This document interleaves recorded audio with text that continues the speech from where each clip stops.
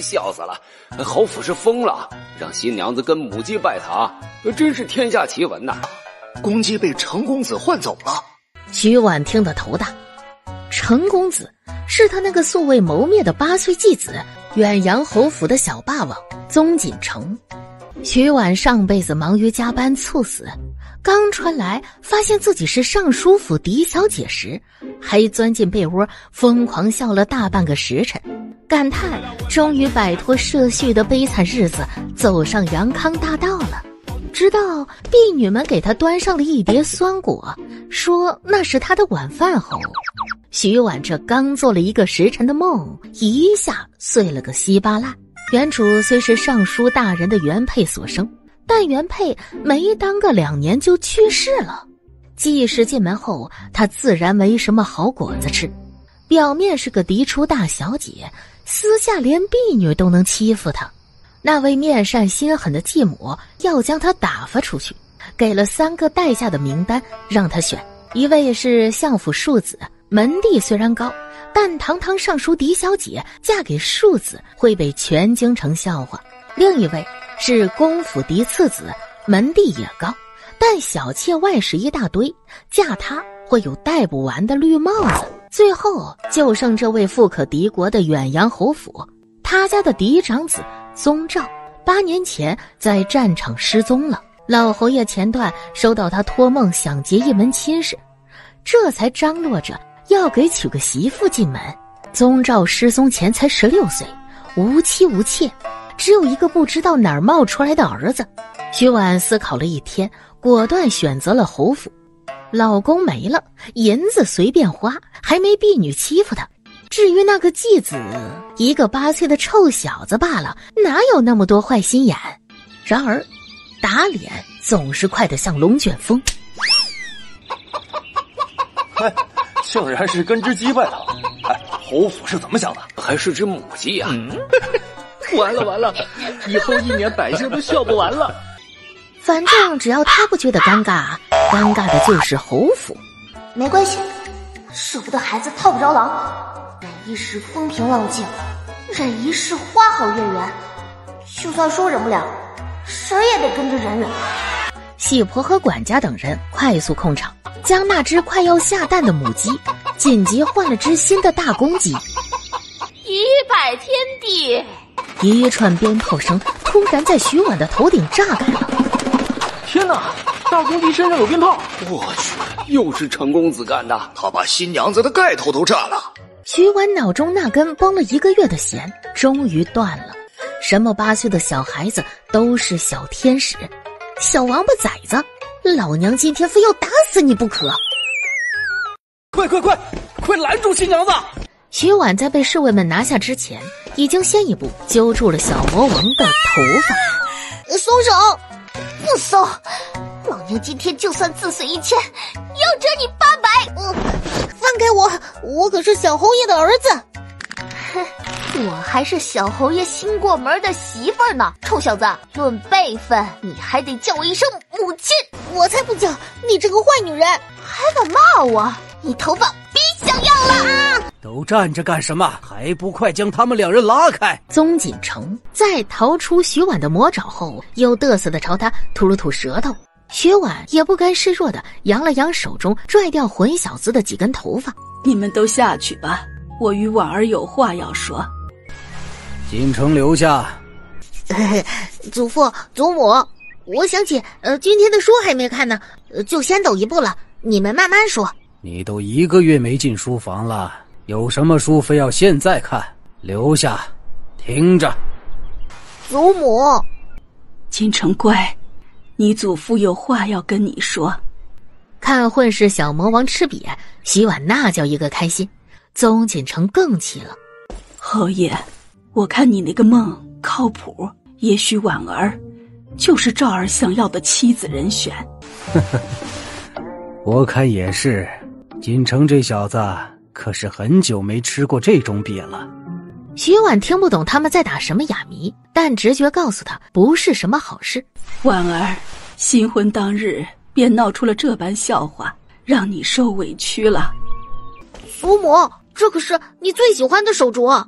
他难以置信的盯着徐婉，又想起脑海里有人跟他说过的话：“只要继母嫁进来，你就再也没有好日子过了。”徐婉也意识到手腕的珍贵，还没等他拒绝，就见老夫人从袖中掏出了管家钥匙。管家钥匙，自家那个继母可是熬了整整十年，才从他祖母的手里把管家钥匙拿过来。从此以后，在尚书府作威作福，好不舒坦。老天爷，她一个刚刚嫁来的新娘子，喜服都还没换下，就能拿到所有人梦寐以求的管家钥匙？祖母，你怎么可以给他这管家钥匙？就是给二房的红姨娘，也不能给他呀。老侯爷只有一对双胞胎儿子，八年前那场大战让他的长子宗兆失踪，次子宗彦战死沙场。老二死前并未成亲，但今年才被发现他有个外室和一个私生子。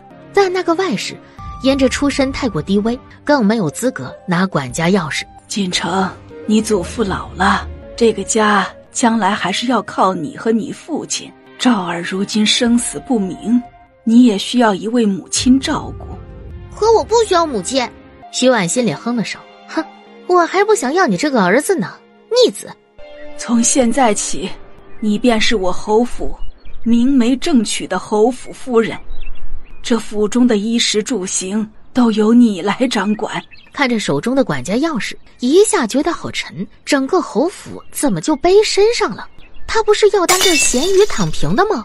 我没有管家的经验，学学就有了，很容易上手。徐婉思索了几秒。毕竟是侯府大富大贵人家管家，以后他的日子肯定能过得爽歪歪。好，那我就是。不对，还有没有什么附加条件？徐婉正想应着，却看见老侯爷笑得嘴角快咧到了耳朵根了。他下意识的觉得有大坑。没有附加条件了，只要你把整个府里的人照顾好，我们没别的要求。整个府里。不会还有他吧？救命啊！这么个小祖宗，打又打不得，这谁带得住啊？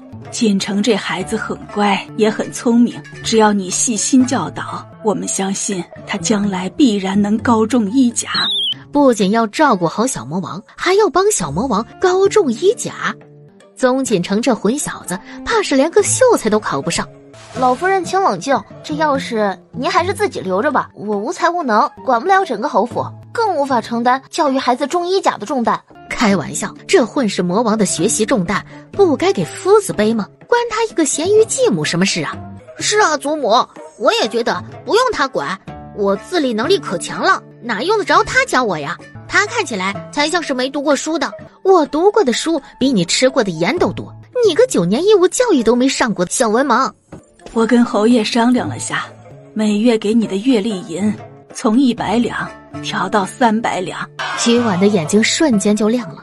锦城若是能中三甲，我跟侯爷便再送你五万两啊！五万两，他感觉自己现在满脑子都是金锭子，疯狂乱砸。若是能中一甲，那就改为十万两。祖母，您是要把整个侯府都送给他吗？锦城。你要知道，你出息了，整个侯府都能跟着沾光。届时，我们也放心将整个侯府交给你，不是吗？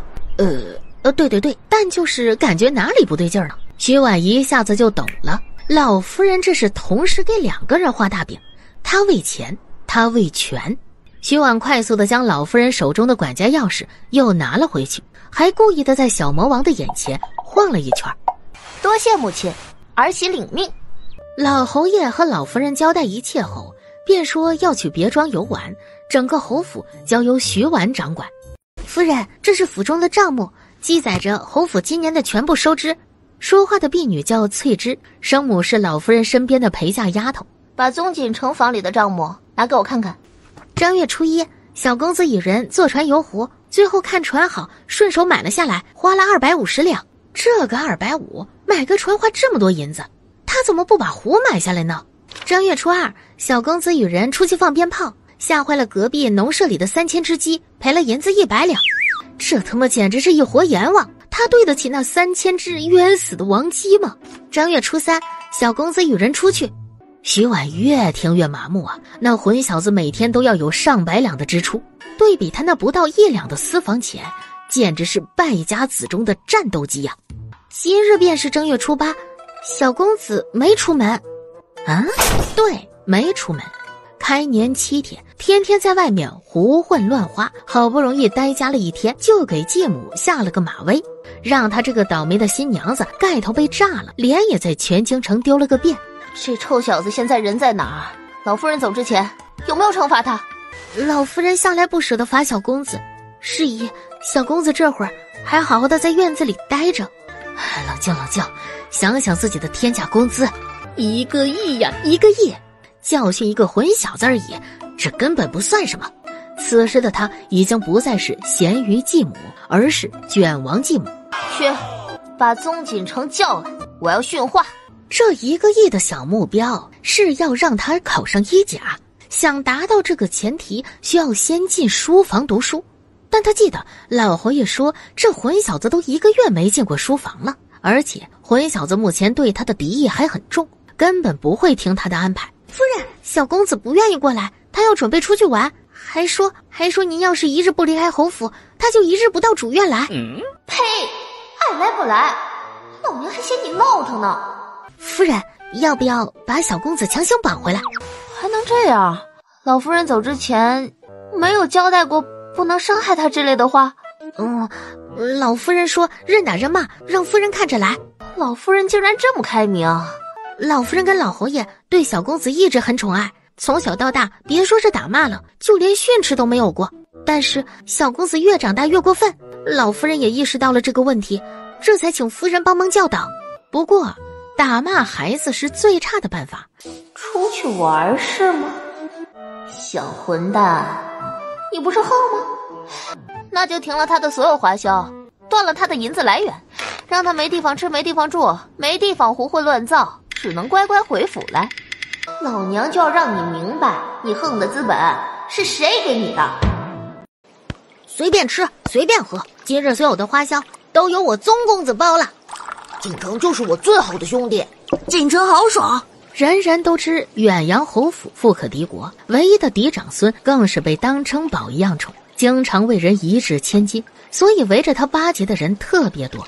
等结账的时候，侯府的管家突然来了。跟他的仆人不知道说了什么话，仆人赶紧把身上的银子全部都交了出来。刘管家，你什么意思？对不起啊，小公子，夫人有令要停掉您一切开销，请公子与老奴回府吧。啊，原来是被你那个继母给管住了。侯府小公子想赖账呢，不就是想让我回侯府听他训话吗？行，我回去就是了。你快把账先结了。对不起，小公子。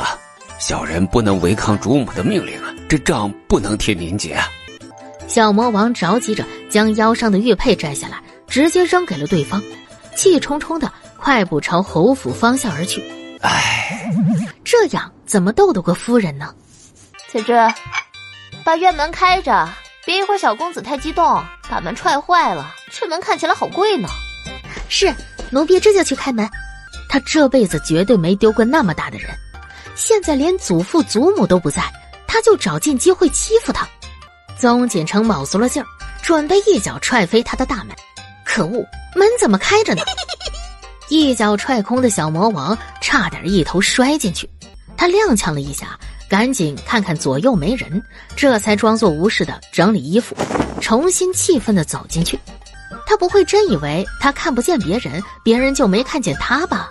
宗锦城一进来。就见洗碗笑得花枝乱颤，满院子前后五六个丫鬟伺候着他，桌上摆着各种好吃好喝的，好不舒服。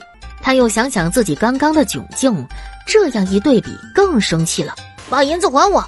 你这么生气做什么？一顿饭钱而已，你就算一时没有，你那帮朋友没帮你付吗？你可是没少请他们吃吃喝喝，如今让他们回请一顿，有什么问题？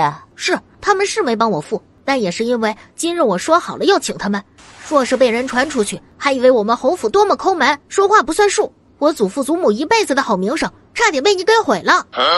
你小子这么会扣大帽子啊！还钱！我们井水不犯河水。晚了，你害我丢了面子。井水已经犯了河水，无法收场，不可原谅。你到底想怎么样？我想怎么样，你应该清楚。老夫人跟我说话时，可没背着你。你配合我好好读书，待你高中一甲，你当你的小侯爷，掌家掌权，我牵钱走人，咱们各取所需。我不喜欢读书，也不会去考什么科举。你跟祖母的约定，那是你们的事儿，我绝不配合。那可由不得你，刘管家，去把小公子房里贵重的东西都收好，免得他再把府里的好东西给抵出去。三千两的玉佩啊，就拿出抵了一顿饭钱，浪费呀，浪费！你们这是明抢啊！刘管家，你疯了吗？我才是侯府的嫡孙，你竟然听这个女人的话来欺负我！我要写信给祖母。但领命的刘管家头硬的像铁，这个不能掰，这是我最喜欢的躺椅，这个枕头不行，你拿走了我枕什么？鞋鞋，我难不成还能穷到去卖鞋吗？你们无耻！小魔王疯狂想阻拦，但跳起来还没他们高，打架又不会武功，只能无用功的上蹿下跳。徐婉过来叫他用晚饭的时候，就见小魔王声音已经喊哑了。混账东西，见人下菜，吃里扒外。亡魂公子以前对你们那么好，再往里看去，整个屋子被洗劫一空，清偏的令人啧舌。徐婉瞪了瞪眼，也没有想到刘管家做事这么干脆。衣服还要拿走，你们是不是要逼本少爷光着屁股出门？锦城小公子，喊累了吧？吃点东西，天都黑了。该吃晚饭了。小魔王平时是个很注意餐桌礼仪的人，但今天气狠了，也累狠了，直接徒手抓起了鸡腿就啃。饭菜呢，都在大堂。你若还想吃别的，过去随意吃。以后一日三餐都在那边用饭，厨房做什么就吃什么，不能挑食，否则你就自己解决吃喝。宗锦城骄纵难伺候，当然也挑食了。小家伙眼珠子滴溜溜一转，应声道。知道了，徐婉看着床顶和满室的红，她怕是史上第一个独守空房的新娘子。今天忙了一天，她快累死了。但从接管家钥匙，再到跟小魔王斗智斗勇，发生了太多事，精力实在是有些扛不住了。翌日，夫人饿不饿？要不要奴婢给您端些粥过来？不用了，我在会。对了，宋锦城呢？那小子有好好去大堂吃饭吗？有小公子特别听话的去了，还是夫人有办法。从前老夫人怎么叫小公子都不去呢，现在一到饭点了，不用人提醒就来了。翠芝的夸奖听得人很受用，但徐婉却觉得怎么都不对劲儿。尤其是昨天离开前，小魔王转了转眼珠子，那眼神怎么可能这么听话？不对，有诈。翠柳，去查查宗锦城起床之后都去了哪里，见了什么人，干了什么事儿。夫人是担心小公子想什么坏点子吗？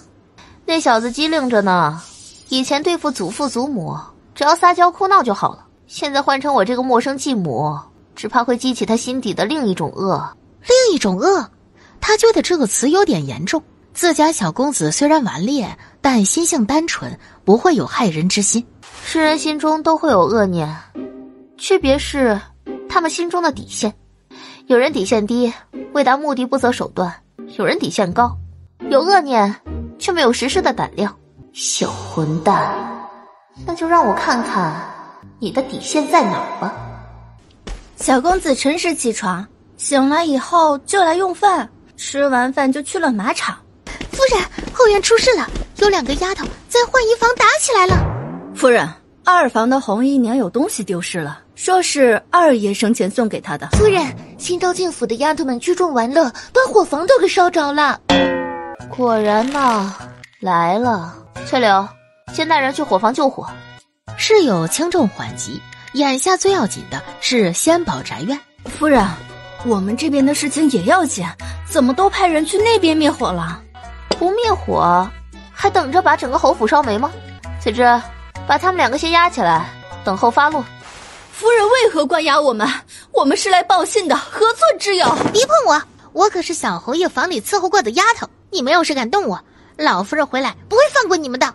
小侯爷就是府里的唯一禁忌，他的东西侍女都像宝贝似的被人供着，因为老夫人经常会睹物思人。我记得母亲说过，夫君房里没有任何妾室通房。她是个什么等级的丫头？小侯爷房里一共有两个丫鬟伺候，都是三等。红芍是在小侯爷失踪后才被提为二等女使的，如今被分去了二房院里做事。红芍听完了，脸上更得意了。小公子承诺过，只要他好好的为他做事，就将他从二房院里调出来，做自己院里的一等大丫头。眼前的新夫人有管家大权又怎么样？小公子可是未来的小侯爷，新夫人根本不敢动他。老夫人可是日日都思念小侯爷，若是奴婢受了委屈，老夫人定会伤心难过。红芍的话故意没说完，却明摆着暗示老夫人会因此收回新夫人的掌家大权。那就送去别庄吧，给老夫人好好的净身睹物。老夫人不在府里，她还能仗着资历横行。若是去了老夫人身边，那岂不是连头都抬不起来了？自己小看了徐婉，请夫人收回成命。老夫人跟老侯爷正在外面散心呢，奴婢不敢去打扰。去吧，毕竟老夫人日日都思念小侯爷，离开了你肯定不行，是吧，翠芝？夫人说的是。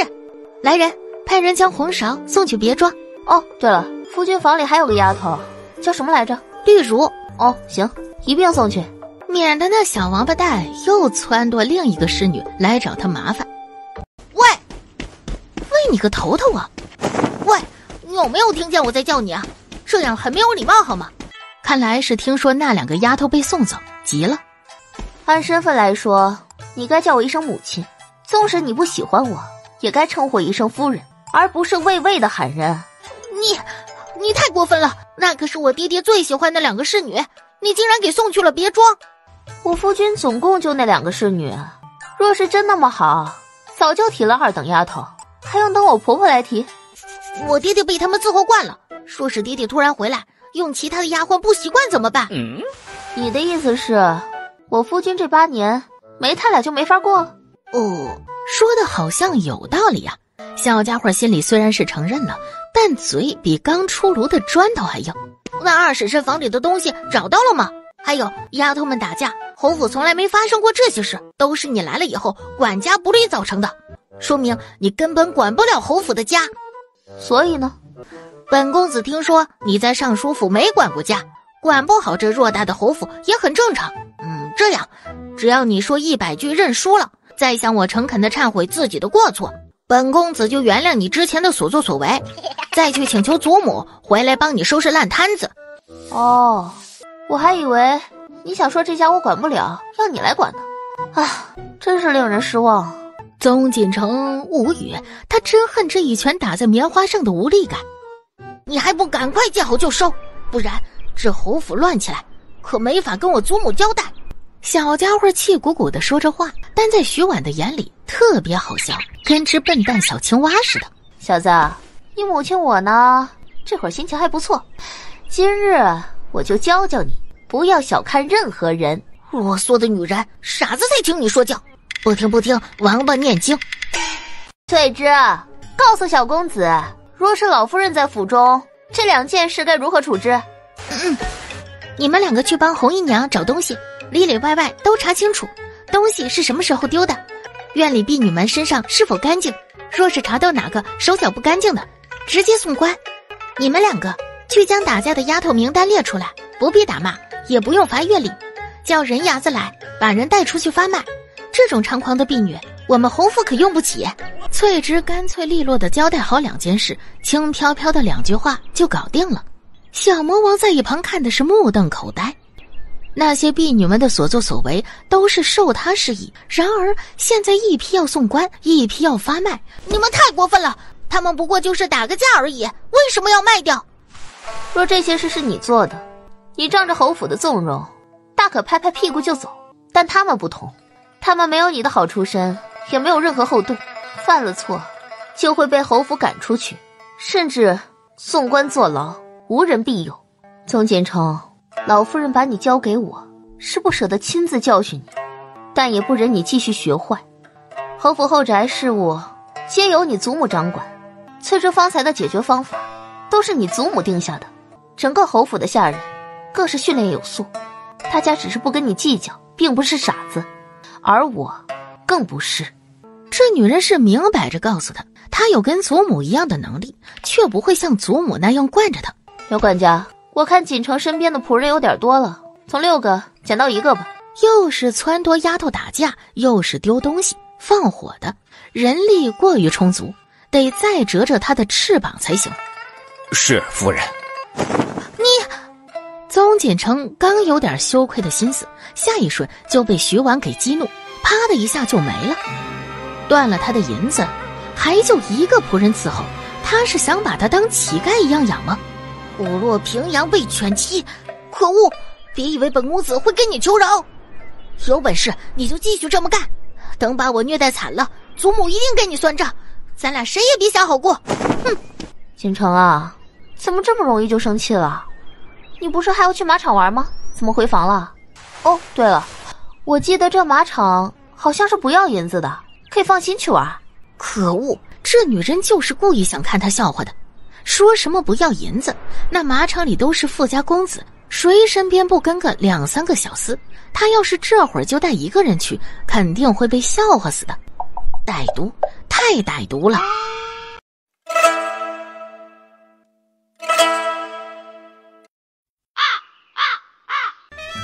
会幼稚的以为眼神能杀人吧？那也不让你好过。宗锦城摆好了跟他势不两立的架势，一副休想折断他傲骨的模样。这幼稚啊幼稚！宗锦城看着一桌子的菜也饿了，一手捞了一碗白饭，一手去跟徐婉筷子下面抢食。他夹哪块肉，他就去夹哪块；他要喝汤，他就先他一步让人成。一旁的翠枝、翠柳看得都惊呆了，这还是他家那位挑食严重的小祖宗吗？现在为了跟夫人赌气，他连米饭都吃到两大碗了。老夫人，您快回来看看呐！小公子他变了，吃饱了吗？宗锦城不理他，只留下了一个故作高冷的背影。赵夫人这么刺激下去，小公子一个月便能长胖三斤，不过也是好事。老夫人一直说他太瘦，那你们说，我要把他喂胖个三十斤，老夫人会不会多给我点奖励？三十斤还是算了吧，画面太美，他们不敢想。宗锦城的进度到哪儿了？小公子不喜读书，到现在还没有把《三字经》背下来。嗯，猜过是个小文盲，没想到文盲的这么彻底。寻常孩子七岁启蒙，官宦子弟三四岁便启蒙。宗锦城这小子可真是被溺爱的彻底。对了，二房领回来的那个孩子叫什么？他读书是个什么进度？那位小公子叫宗文修，从小住在贫民窟里，年前被接回府里后才有机会启蒙。不过修公子聪慧过人，读书又十分刻苦，如今不过半年时间，已经追上世家子弟们的进度了。这真的是活生生的对比啊！小魔王要是这么令人放心，他得每天早起给他烧三炷高香了。到底还是得想办法让宗锦城进书房读书。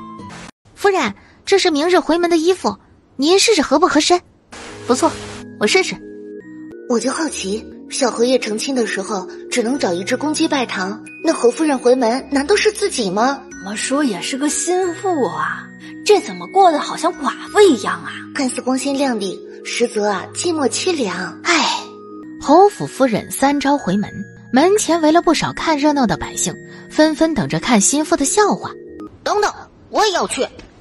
小公子，这是夫人的回门宴，从来只有跟夫君回去的，哪有带孩子回去的？宗锦城还是头一次见翠柳对他这么不客气，原本想怒声吼回去，但看见徐婉那张脸，我还不是看你自己回家太可怜了，本公子大发慈悲的陪着你回去。你要是知道错了，就把人和东西都还给本公子，本公子也不是不能考虑给你个台阶下来。小家伙的声音越说越小，这显然是底气不足，自己都没有自信。徐婉看着他摇头晃脑的样子，一张小脸白皙漂亮，长这么好看可爱。这一瞬间，他又一次理解了侯府对他这么纵容的原因。他不看不就好了，看不见就不会心软。宗锦城好不容易憋了半天的词，没想到他连回都没回，一张脸。瞬间变得五颜六色。他正想吼出声呢，你若想来便跟来，不过多双筷子的事儿。尚书府还是不缺你那口饭呢。至于想要别的，没可能。小魔王怒火中烧，可恶啊！这个丝毫不留情面的女人，他早晚有一天要把她狠狠踩在脚下，让她向天大喊一百声“我错了”。哎，出来了，出来了！让着让着！哎呀，别挤我！侯府嫡长孙也出来了！哎呀，竟然是跟着侯夫人一起！难道是他要陪巡抚回门啊？看来侯夫人不止人美，手段也强。看把这继子收拾的服服帖帖的。宗锦城听见这句话，好不容易压下的忍辱负重一下子压塌了理智。胡说八道什么呢？要收拾也是本公子收拾他。婉儿，你可算是回来了。母亲早已经为你备好了酒席，就等着你呢。来人正是他的伪善继母柳氏，和蔼可亲的像个菩萨。母亲安好。老爷在刑部还有事，未曾归来。你妹妹在家等你许久了。说是你再不来呀，就要到侯府接你了。家中有事耽误了一会儿，母亲不要见怪。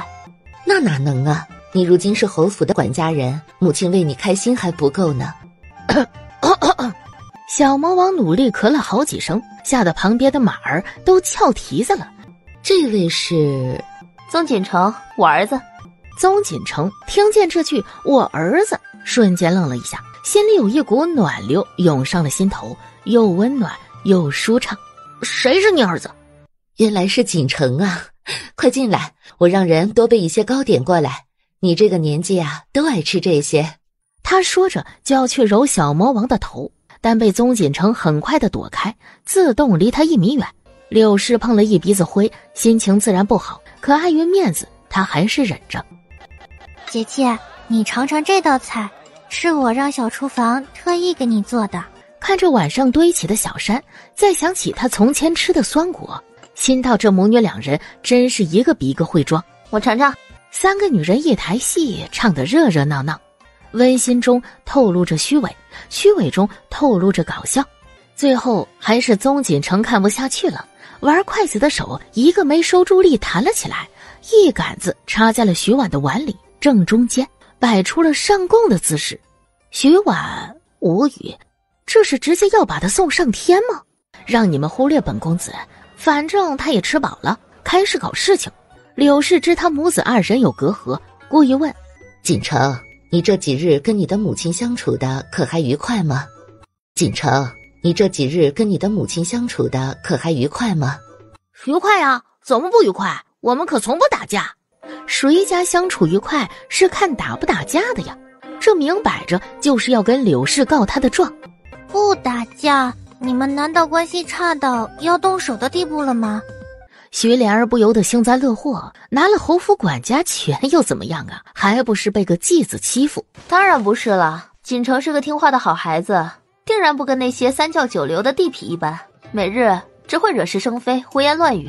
如此一番话滴水不漏，还趁着徐莲儿刚刚的话里外不是人，好似在说宗锦城是个没家教的孩子一样。宗锦城的脸色当即就变了，他恶狠狠地瞪了学莲儿一眼，希望他不会说话就少说话。婉儿也是有福气的，不然这老夫人怎么就偏偏的看中你了呢？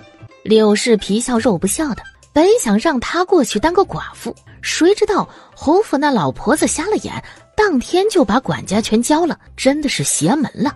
还要多谢母亲的功劳。若不是您极力向我说了远洋侯府的好话，还说锦城这孩子多么聪慧，我也不会一门心思就想嫁到侯府来，这才给捡了个大便宜。宗锦城越听越不对劲儿，原来徐婉能嫁到他家来，全是这个老婆子推来的。可恶，这笔账他记下了。突然躺枪的柳氏满脸问号，他什么时候给徐婉极力推荐侯府了？等等，那臭小子是什么眼神？怎么好像在盯十世仇人一样啊！整个饭厅上，徐婉一句一句的夸着柳氏和徐莲儿，愤怒的小魔王一会儿瞪瞪这个，一会儿瞪瞪那个，累得两只眼睛通红。既然父亲有事要忙赶不过来，那我便先带着锦城回府了，改日再来看望母亲。好好，我让莲儿送送你。该死的臭丫头，她要是再不走，旁边那个一点就着的小炮筒，只怕就要气得掀桌子了。夫人，你可真是太会说话了。奴婢觉得你那个继母今晚呢，怕是要被气得睡不着觉了。还有小公子，他简直像是你带去的帮手，专门负责气那对虚伪的母女。我那继母虽然坏，但口齿简单，换个厉害点的就不行了。夫人如此聪慧，从前怎会被这样的人欺负呢？从前是不想争，觉得当个咸鱼躺着歇歇也挺好的。那如今，如今也不想争。啊？那您今日这是？我这是在气宗锦城呢，不明显吗？呃，很明显，但没想到这么幼稚。宗锦城不是能耐吗？还想找我的麻烦？看看吃瘪的是谁！小混蛋！你才没教养，你才不懂事，你才惹人讨厌！可恶！可恶！可恶！果然姓徐的都没一个好人，一个比一个会欺负人。等着吧，等本公子恢复了势力，一定挨个找他们算账。公子不是去给夫人找伴子去了吗？怎么会被徐家人气到了？还不是徐婉，都是他家的人，都是他家的人。嗯，不对，他家的人好像不是那个意思。他仔细回想当时每个人说的话，最后都被徐婉解释了一通，然后他怒火就被点燃了。他觉得是徐家的人在点他，实际上，实际上是徐婉在拿他当枪使。啊！我要跟他拼了！小公子，你要找什么啊？我刀呢？小公子要刀做什么？咱们院里可从来没有利器呀！找刀，老子要跟他同归于尽！太欺负人了！他活了整整八年，从来没受过这样的窝囊气。小公子三思啊！您吃了一次瘪，再找回来就是了。君子报仇，十年不晚呐！你想报复办法？要不您去书院读书吧？嗯，宗锦城瞪着眼睛，劝他说话要慎重。夫人如今有钱有势，咱们硬碰硬打不过他，倒不如以退为进，暂避锋芒。等到老夫人回了侯府，您再说回来的事儿。那我不是上他当了？他就想着让我好好读书，我去了书院，反倒是让他称心如意。小公子只是去书院，那学不学还不是您自己啊？宗锦城觉得有道理，这计划能行。走，去找那女人，就说本公子要好好读书。京城里书院众多，但最厉害的还是翰林书院。咱们大楚国每一届的状元郎都是出自这里。这翰林书院呢，分南北两院，南院收有家世有银子的，北院收学识出众的。以咱们侯府的背景，小公子怎么都能进南院？这不是跟现代一样吗？一个重点高中里的生源，一半从各地初中里掐尖，另一半从附近学区房里划片招生。尖子生配的是重点老师，划片生的老师就不一定了。南院学子的知识水平如何？不错呀，都挺不错的。哦，那他们考上一甲的多吗？翠芝沉默了几秒。这一甲总共就三名，每届都是从北院里出，哪里轮得到南院？徐婉看他表情，当即明白了，想完成他的目标，还是得去北院才行。这么想着，宗锦城已经又冒冒失失的闯了进来。怎么了，宗小公子？有事求我呀？我要去书院读书。听不清。我说我要去读书，去好好学习。你不是就盼着这点吗？最好痛快的答应他去书院，不然他可真要拔刀闹了。那就去给小公子报名翰林书院的入学考试吧。翰林书院的入试考试，南院是有背景的能进，需要考试的只有北院。以自家小公子那不分六九的学识水平，让他去北院考试，是打算去只写个名字吗？夫人确定是翰林书院吗？没错。翰林书院是京城最好的书院，也只有他才能配得上我们侯府嫡长孙的身份。宗锦城对书院这些一窍不通，只听徐婉提起他的身份，当即挺直了腰板。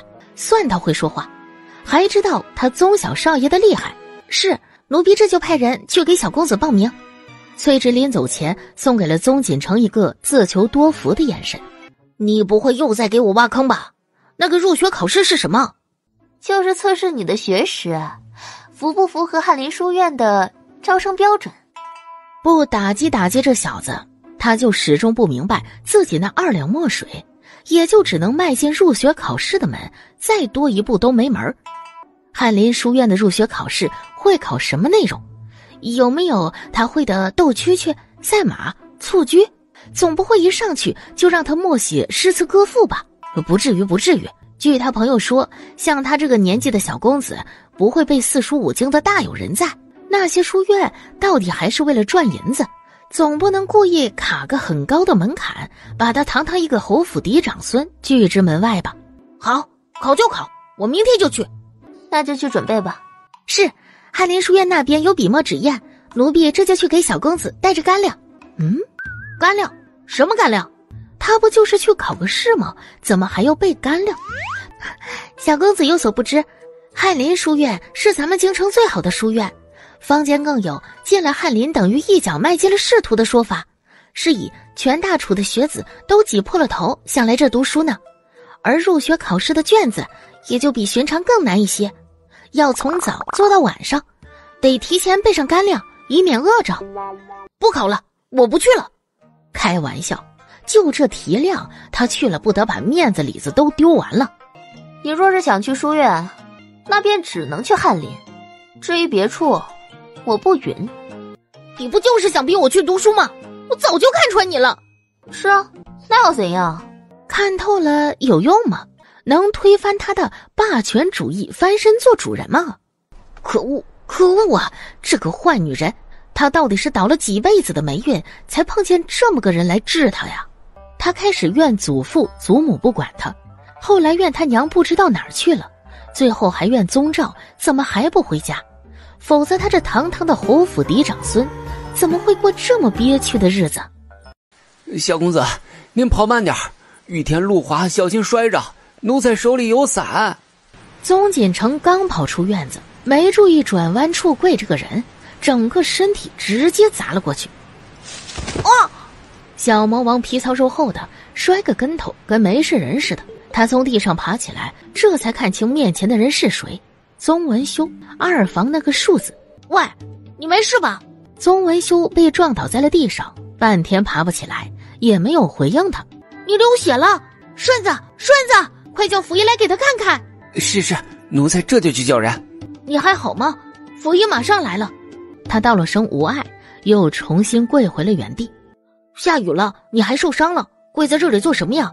难道你也被那个女人折磨了？都说敌人的敌人就是朋友。宗锦城一想起这可能是徐婉干的，立马觉得自己不再是孤立无援的小可怜。他要跟宗文修联手，打败那个鸠占鹊巢的坏女人。是我求见夫人，求见徐婉。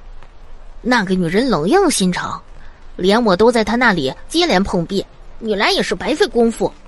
不过你先说说看，说不定我能帮上你的忙。今日雨下的挺大，你去看看锦城院子的炉火还够不够？早春天气还冷，别冻着那小子了。夫人，修公子求见。文修，下这么大雨，怎么不让他进来？徐婉还没适应侯府这通报的规矩。古代嫡庶分明，身为嫡子的宗锦城敢跟他拍桌子瞎嚷嚷；身为庶子的宗文修未经通报，连门都不敢进。快带他进来！宗锦城在门外难得那么贴心的问了许久，结果他这个冷冰冰的堂兄愣是一句话都没说，摆明了是觉得他解决不了事情。这可把宗锦城给气坏了，给他撑伞的手啪的扔了，两人索性一起淋雨。翠芝一看就看见了这画面，一个人跪着，一个人坐在跪的人面前，不知道还以为两人拜堂呢。不是，小公子、修公子，你们怎么也不打个伞啊？快起来，快起来！下这么大的雨，这么淋着肯定会生病的呀！快跟奴婢进去。怎么会淋成这样？快准备热水，给他们两个洗洗驱寒。夫人，求您救救我娘。红姨娘不是在西院吗？她出什么事了？徐婉嫁来这几日，一直没见过红姨娘。照大楚门官宦人家的规矩，红姨娘怎么也该主动来见过她。但因知翠芝说是她身体一直孱弱，她便没细过问。如今再看，难不成是有什么隐情？府医说我娘已经病入膏肓，没有救治的希望了。但我听说，只要请宫里的御医入府，也是，也是有一线生机的。只要您答应救我母亲，我愿意用一生来报答夫人。宫里的御医都是给皇上娘娘看诊的，哪有那么好请？我长大后都还没有见过太医，更何况只是一个姨娘。徐婉是知道请御医的流程的，需要以重臣的名义去请，而侯府的重臣自然是老侯爷。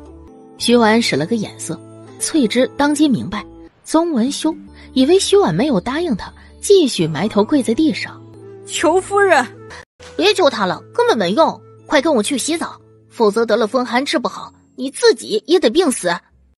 我没说不能帮，多谢夫人。怎么回事？这坏女人竟然愿意帮庶兄？他他他他他什么意思？对一个庶孙那么好，却欺负他这个嫡长孙，不公平！你有善心帮他，却故意针对我一个人，你就逮住我一个人欺负，没天理呀！小朋友，请你搞搞清楚，从始至终都是你在耍大少爷脾气。你看看文修，你再看看你。若是你能有人家一半的听话，咱们两个的继母子关系哪至于这么僵硬？哼！你方才说愿意用一生来报答我，一生太长就不用了，我只要你陪我完成一个小任务就行。夫人尽管吩咐，我要让他跟着你在府里读书。他想好了，小魔王放外面书院里他不放心，还是放眼皮子底下更可靠。再加上。有宗文修这样好读书的同窗在旁，不只会有正向的帮助，还能避免宗锦城和其他家小纨绔学坏。我答应。若是只陪人读书就能换来母亲的平安，那他愿意陪宗锦城读一辈子的书。哦，请问你们有问过本人的意见吗？他都没有答应。我不读，这事跟我又没关系，你们俩商量的事儿。要经过当事人同意，知道吗？反正我没听见，我不去，我不读，我就要在家里咸鱼摊。宗文修掀起衣摆就要跪下去，这一跪对着的是宗锦城。宗锦城忙往旁边一躲，撞入一个温暖的怀里。呃，丢人，怎么躲他身边去了？男儿膝下有黄金，怎可轻易下跪？可我想让我的母亲活着。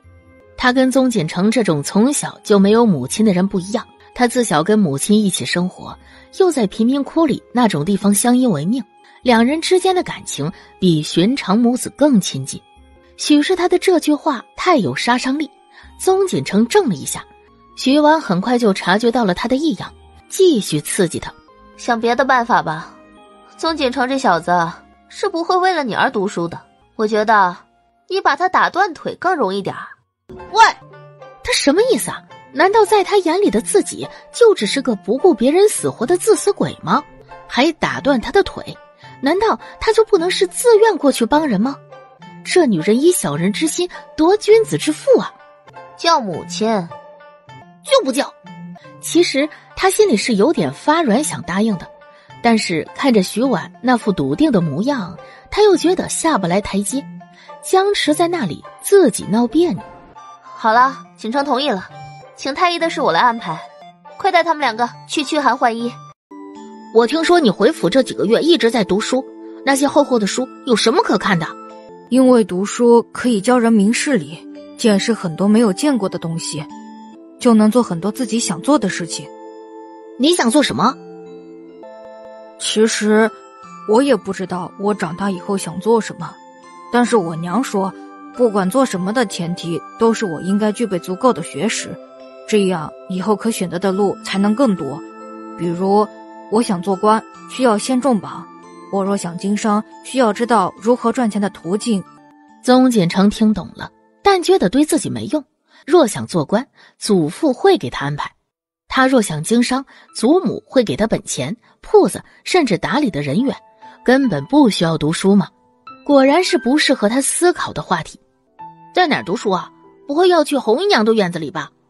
祖母说府上有个大书房一直空着没用，便叫我过去读书了。那里的书籍特别丰富。没想到他这个弟弟跟传闻中并不一样，反倒是善良的很别扭。他一定要好好的带弟弟读书，哪怕自己考不中一甲，也要让弟弟考上。好心帮忙的宗锦城，要是知道宗文修此刻的想法，估计啊，连滚带爬有多远跑多远了。红姨娘得的是痨病，贫民窟那种地方脏乱差，得痨病的人很多。先前老夫人在府里是怎么不说啊？因为母亲说她的病治不好了，与其浪费祖母的精力，不如让祖母愧疚，如此就能将我，将我接到她院里悉心教导。红姨娘的算盘打得极好，甚至不惜放弃自己的生命，也要为儿子争来前途。只可惜她的儿子极为孝心，打乱了他的部署。宗锦城站在旁边若有所思，有点羡慕这种感情，羡慕宗文修能有母亲为他筹谋。放心去读书吧，这里我来看着，不会让你母亲有事的。谢谢夫人。少年人最是记恩情，转头看向了宗锦城。一副死心塌地带弟弟读好书的模样，呃，堂兄的眼神好可怕，我好想逃。某些人，该不会想过河拆桥，毁了跟我的约定吧？不过也是，一个八岁孩子而已，说话不算数又怎么样呢？就算我天天喊他是不守信的小王八，他也不会觉得不好意思的。谁不守信了？谁是小王八？当然是谁不守信。谁就是小王八喽！读书就读书，说吧，你要让本公子去读多久？这混小子一脸不忿，又极度的骄傲，直接让他安心读个三年，怕是不会同意。有了，你也不要说我为难你，我呢，就给你定个小小的目标，考个文修就行。他也是刚读书几个月，从小又是在贫民窟长大，比你接触的东西少多了。而以程公子你的聪明劲儿，应该很快就能超过他吧？徐婉一通话，明里暗里把宗锦城夸得心花怒放。嗯，确实是这个道理。最多几个月，他肯定就能超过宗文修。若你能跟上文修的进度，我会将你的银子、仆人都还你。宗锦城一听就来精神了，立马拍板决定，成交。从今天开始。不要背书了，等我把你的进度超过以后，你再读。老侯爷夫妇听说小魔王愿意读书后，连夜请来了京城里德高望重的夫子百里奚入府授课。这位老夫子也曾是宗兆的私人老师。开课第一天，老夫子就做了个摸底考试。考宗文修的时候，老头子眼睛笑眯眯的，直夸这孩子用功，进度飞快。考宗锦城的时候，老头子眉头的皱纹差点没夹死十只蚊子。这小魔王句句答非所问。不仅肚子里没墨水，还非要装作什么都知道的样子。仅仅授了半天的课，老夫子就想仰天长叹：想当年那些人都羡慕他教出了宗兆这个文武双全的双状元郎，让他在京城的名声大噪。结果现在再看下面那个熊孩子，他真觉得是报应终于来了。这世上根本没有连着来的大好事儿。锦城啊，你功底太差，当务之急还是要先把基础打好。这几本是老夫为你选的入门书，你这几日将它们先背下来吧。这些你全都背了？嗯，这些书你别看很厚，但内容通俗易懂，很好背，五天就能背完了。哼，你看我信吗？你这几个月背了多少书了？一百多本。其实他实际上背了两百多本。果然，宗锦城一听人都麻了，也终于意识到自己又上了徐婉的贼船。哼。那你现在每天能背多少页的书啊？十十十来页，很好。宗锦城示意顺子把门关上，弟弟该不会要对他动手吧？从今天开始，不要背书了。等我把你的进度超过以后，你再读。呃，很好，霸道无理的，跟传闻中一模一样。嗯，那你什么时候能跟上我的进度？嗯，一个月吧。宗文修一个数字要学几个月才会的东西，他最为聪明伶俐的嫡子，肯定一个月就能背会了。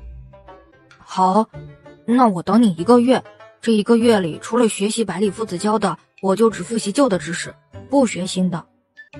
行，算你讲义气。你这兄弟，我交定了。哼。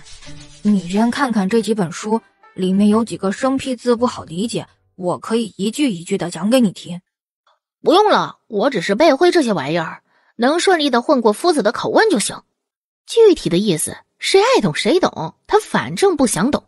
小魔王的学习之旅是很顺利的，他虽然为人顽劣，但脑子是聪明的。翻开书，念上一句原文，再闭上眼，就能默背出来，一字都不差。念一句，背一句，睁开眼，闭上眼，记住了，再记住。宗文修看得叹为观止。背书这种东西啊，怎么会有人背一句就能记下来的？弟弟难道是个绝世天才吗？宗锦城背得口干舌燥，刚背了几页就觉得眼累、嘴累、心累。你好厉害，我从未见人背书如此之快。就这速度，别说一个月了，只要他再多努努力，半个月就能追上自己的进度。啊，不想看了，眼睛好累。呃，宗文修无语。如果他没记错的话，大爷您才看了不到一刻钟的书啊，这就开始累了，让每天看书六个时辰的他情何以堪？宗锦城想着那些没背的书，脑子里突然灵光一现，啊，顺子，你来念书，我不看了，反正念一遍就记住了，听别人念跟自己念没区别。顺子是徐婉给他留的唯一一个读过书的小厮，倒也刚好能帮上小魔王这邪招的忙。于是，被打开新世界大门的宗文修就见这对主仆开始了邪门背书。顺子念一句，弟弟背一句，他这样竟然也背下来了。宗文修觉得呀，自己需要静静，这让一向坚持勤能补拙的想法的他陷入了深深的怀疑中。这混小子，一天天净想点邪招，就知道背养脸说，等科举的时候，在考场上一坐。能把自己名字写出来都要烧高香，不过现在也算是进步不小了。小公子从前连书都没背过，就连老侯爷都不知道他的记性原来这么好。但他这一副偷懒背书的模样，实在让人难以相信他能努力多久。他估摸着最多背上半个时辰就不愿意背了。晚点儿，你去私下告诉顺子一声，就说我看他陪小公子读书辛苦，给他月钱。翻上两倍，让他好好试读。若是小公子追上修公子进度之时，给他月钱翻三倍。夫人，您是不是想拉拢顺子跟咱们一些？不用拉拢。那小兔崽子虽然混蛋，但顺子毕竟是陪他长大的人，而我与锦城也并非敌人。我所有的计谋都是为了让他好好读书，而不是让他无人可用、无人可信。小孩子的世界不能那么黑暗。寒来暑往，秋冬收藏，推位让国，有鱼讨糖。有鱼讨糖，鱼也喜欢吃甜的，它又没有长手，怎么讨？天爷，我学的好像不是这个意思。有时候给程公子教书真的很无助啊。刚进门的徐婉听见这句神翻译，脚底打滑，一头撞在了门框上。神呐，饶了他的耳朵吧！这都翻译的什么跟什么？有鱼讨糖，亏你想得出来！你怎么不说鱼亲自上岸抓糖呢？小魔王环胸抱拳，一副老子天下第一聪明的模样。鱼怎么可能上岸抓糖呢？你是傻的，本公子可不是。好好好，意识不到自己傻也就算了，还觉得别人都是傻的。顺子，跟你家陈公子读书时，记得顺口翻译一句。免得他在课上说出这种解释，能气得百里夫子吹三天胡子。你是不是看本公子天赋惊人，马上要赢了，所以存心来阻挠我读书是吧？以小人之心夺君子之腹是什么意思？知道吗？你现在就长这样，算你识相，还知道自己是小人。我是说君子是我，嗯，君子是我，哼，老子刀呢？翠芝极有眼力劲儿的出来做和事佬，陈公子、修公子，这是夫人特意让人给你们买的七味膏。夫人只是不善言辞，但心里是一直记挂着两位公子呢。多谢夫人关心，小子，七味糕都不吃了？哼，君子不食嗟来之食。刚把七味糕塞嘴里的宗文修没接呀。真的没接过。文修怎么也在读千字文啊？你不是刚学了蒙球吗？他不能直接戳破两个人之间的私下约定，但也不能任由他耽误宗文修的进度。我我我温习，温故而知新，确实是个好习惯。嗯嗯嗯，宗文修胡乱的应着，只盼他能够尽快的跳出这个话题。哪知事与愿违。我方才看了《蒙球》这本书，虽说书本是厚了些，但都是一个个汇编在一起的历史典故，对你积累学识很有帮助。知史而明鉴，识古而知今，你可要用心体会，切莫像个文盲一样囫囵吞枣，有鱼讨糖。突然被点名的某文盲城，他是以为他听不懂这么明显的指桑骂槐吗？我了解过你的学习能力。一个月内，应当就能读完蒙球吧？辅导弟弟学习是很辛苦，但自己也要记得好好读书，不能落下了进度。一个月后，我来考察你的学习进展。完蛋，答应弟弟的话，怕是要食言了。过分，他一直在学新东西，我怎么可能追得上他的进度？这根本是强人所难。只准你自己学习，不许文修读书。哼，天下哪有这样的道理？你以为你在玩刻舟求剑呢？不语，这个炮筒子脸都要红成烙铁了。不过徐婉也不想把他逼死。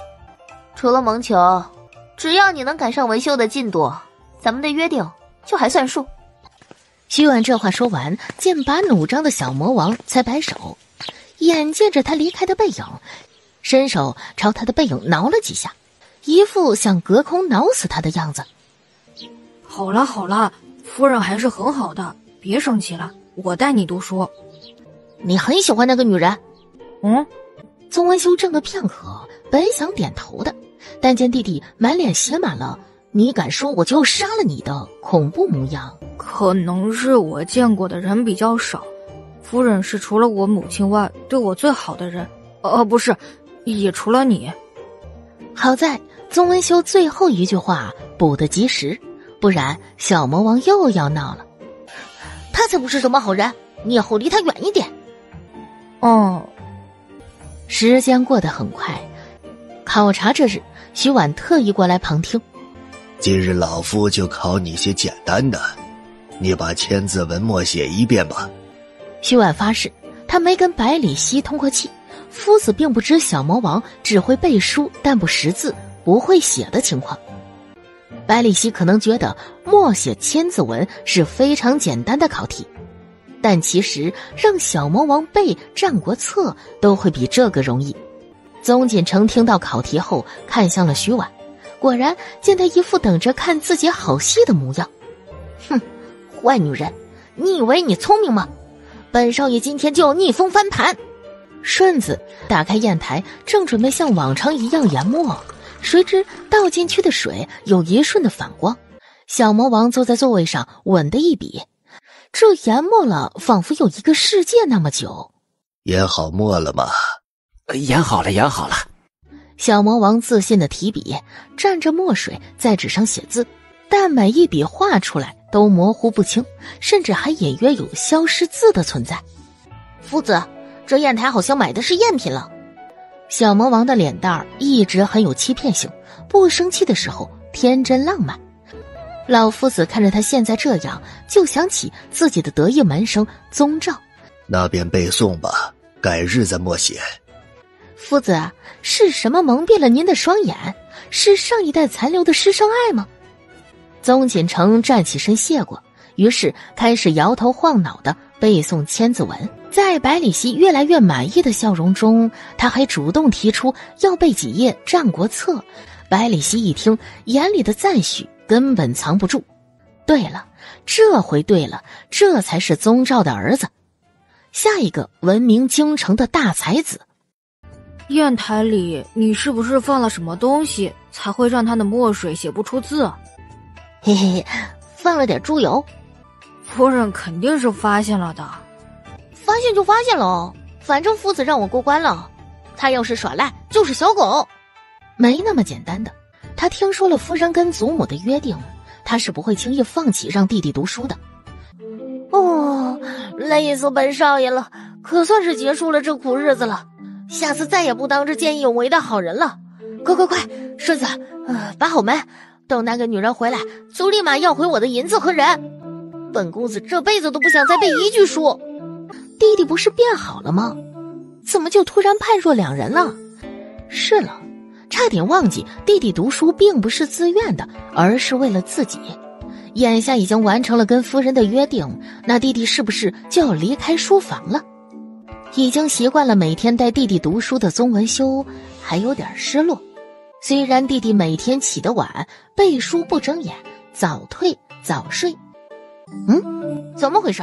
他是不是跑路不认账了？这个时间都够他送夫子门三个来回了。夫人，无论如何都应循序渐进，切莫操之太急，反倒走了偏路。他还以为宗锦城真把百里夫子给蒙混过去了，原来是大智若愚。多谢夫子指点。到底是教出状元郎的人，心里跟明镜似的。翠芝，文修一个月的零用钱有多少？二十两。这么多？嗯，是的。寻常人家数死月银一般不超过十两。不过修公子在外面过了九年半的苦日子，老夫人十分心疼，所以在他回府后呢，送了许多的金银绸缎和昂贵的笔墨，月银也提到了二十两。那他的穿着怎么还是这么朴素？修公子说他穿习惯了，老夫人也就没有勉强，随他去了。对了，翠芝，文修回府后有再去过贫民窟吗？回去过，修公子每个月都要过去一趟的。每次去都会坐一辆极大的马车，不知道里面装的是什么东西。但是府里从来没有丢过东西，修公子一向洁身自好。走。去看看账本。马车里装的是高粱馍，那是馒头里最便宜的一种，贵人家里从来没有出现过，因为不好吃。他们似乎明白了修公子每月都去干什么了，竟是如此。走吧，该去管教熊孩子了。你再不回来，我还以为你要跑路了呢。我跟你说，这次是本公子赢了，你要是不遵守约定，那就是……喂喂喂！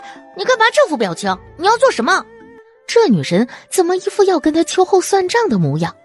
徐婉刚知道了宗文修的秘密，再看宗景城，可真的是哪儿哪儿都不顺眼。同样是姓宗，这小子怎么就长成这么一个混世魔王样？快把本公子的人和银子都还回来！徐婉侧头示意：“夫人，人都抓齐了，三德子找的朱瑶，阿昌换的墨。”是小公子找他们帮忙做的手脚。宗锦城满脸问号，他们是怎么知道的？锦城，你是很聪明，但也不要把别人都当傻子。我们当初的约定是要你跟上文修的进度，你如今这样，充其量不过是在背书上超过了。虽然跟目标仍有不小的差距，但也应该奖励一番，所以我答应了，可以将月银还给你。按照世家子弟的标准，每月给你二十两银子。二十两，宗锦城大约从没听过这么少的银钱。他出去请朋友吃顿饭都不止这个数。祖母从前从未管过我的月言，你现在给我扣成二十两，还好意思说是还我银子？怎么好意思的？小鸡仔显然是炸毛了，哇哇开始嚎叫。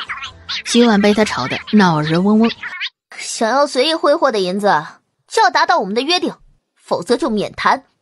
宗锦成气得满脸通红，身体强烈起伏着。徐婉的态度很坚决：“你说，到底要怎么才算追上他的进度？不就是写字，有什么难的呀？他有看一遍就会背的能力，自然能看一遍就会写。”距离一甲的目标还那么遥远，他当然不能让宗锦成这么快就掏出来，得让他意识到读书的重要性。翠柳，马车准备好了吗？准备好了。嗯，那就出发吧。去哪儿啊？本公子还要在家背书，可没工夫陪你到处玩。也行啊，那我就只带文修出去吧。反正锦城小公子也不爱见人。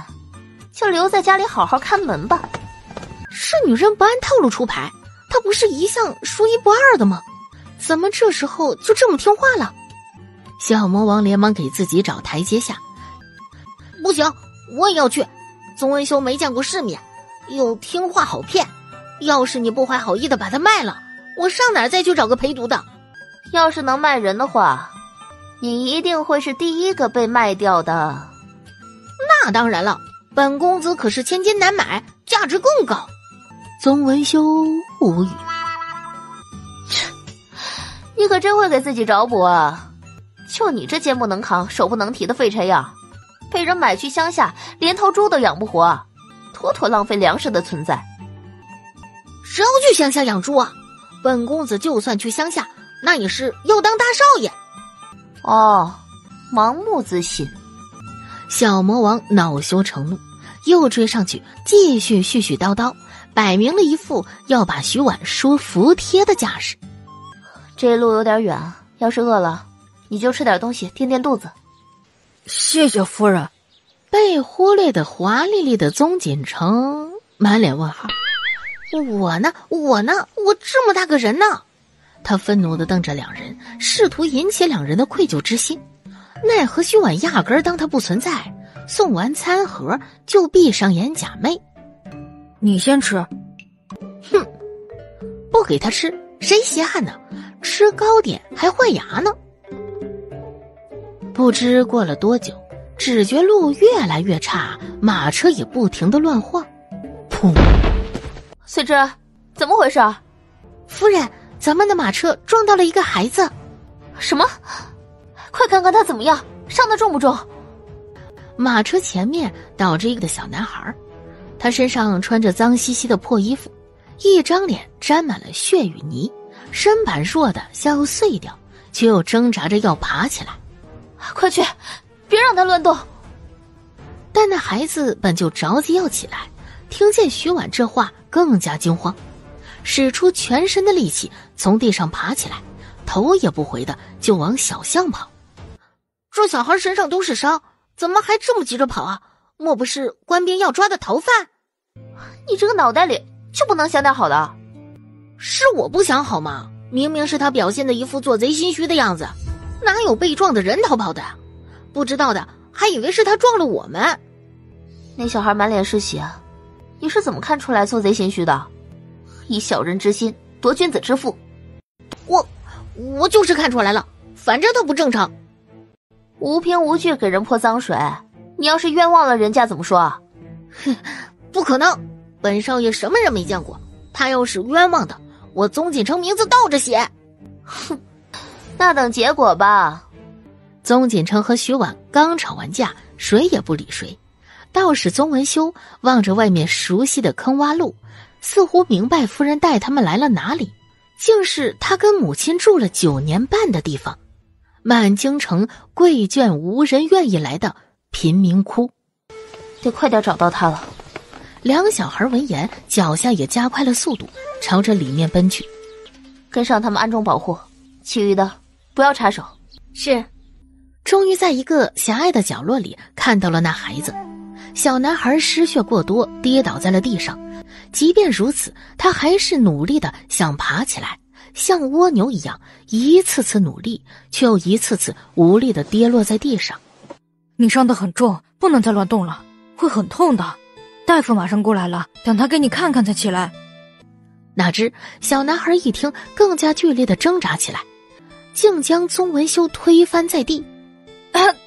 旁观的小魔王赶紧上来帮忙，别动，我下手可没轻没重的。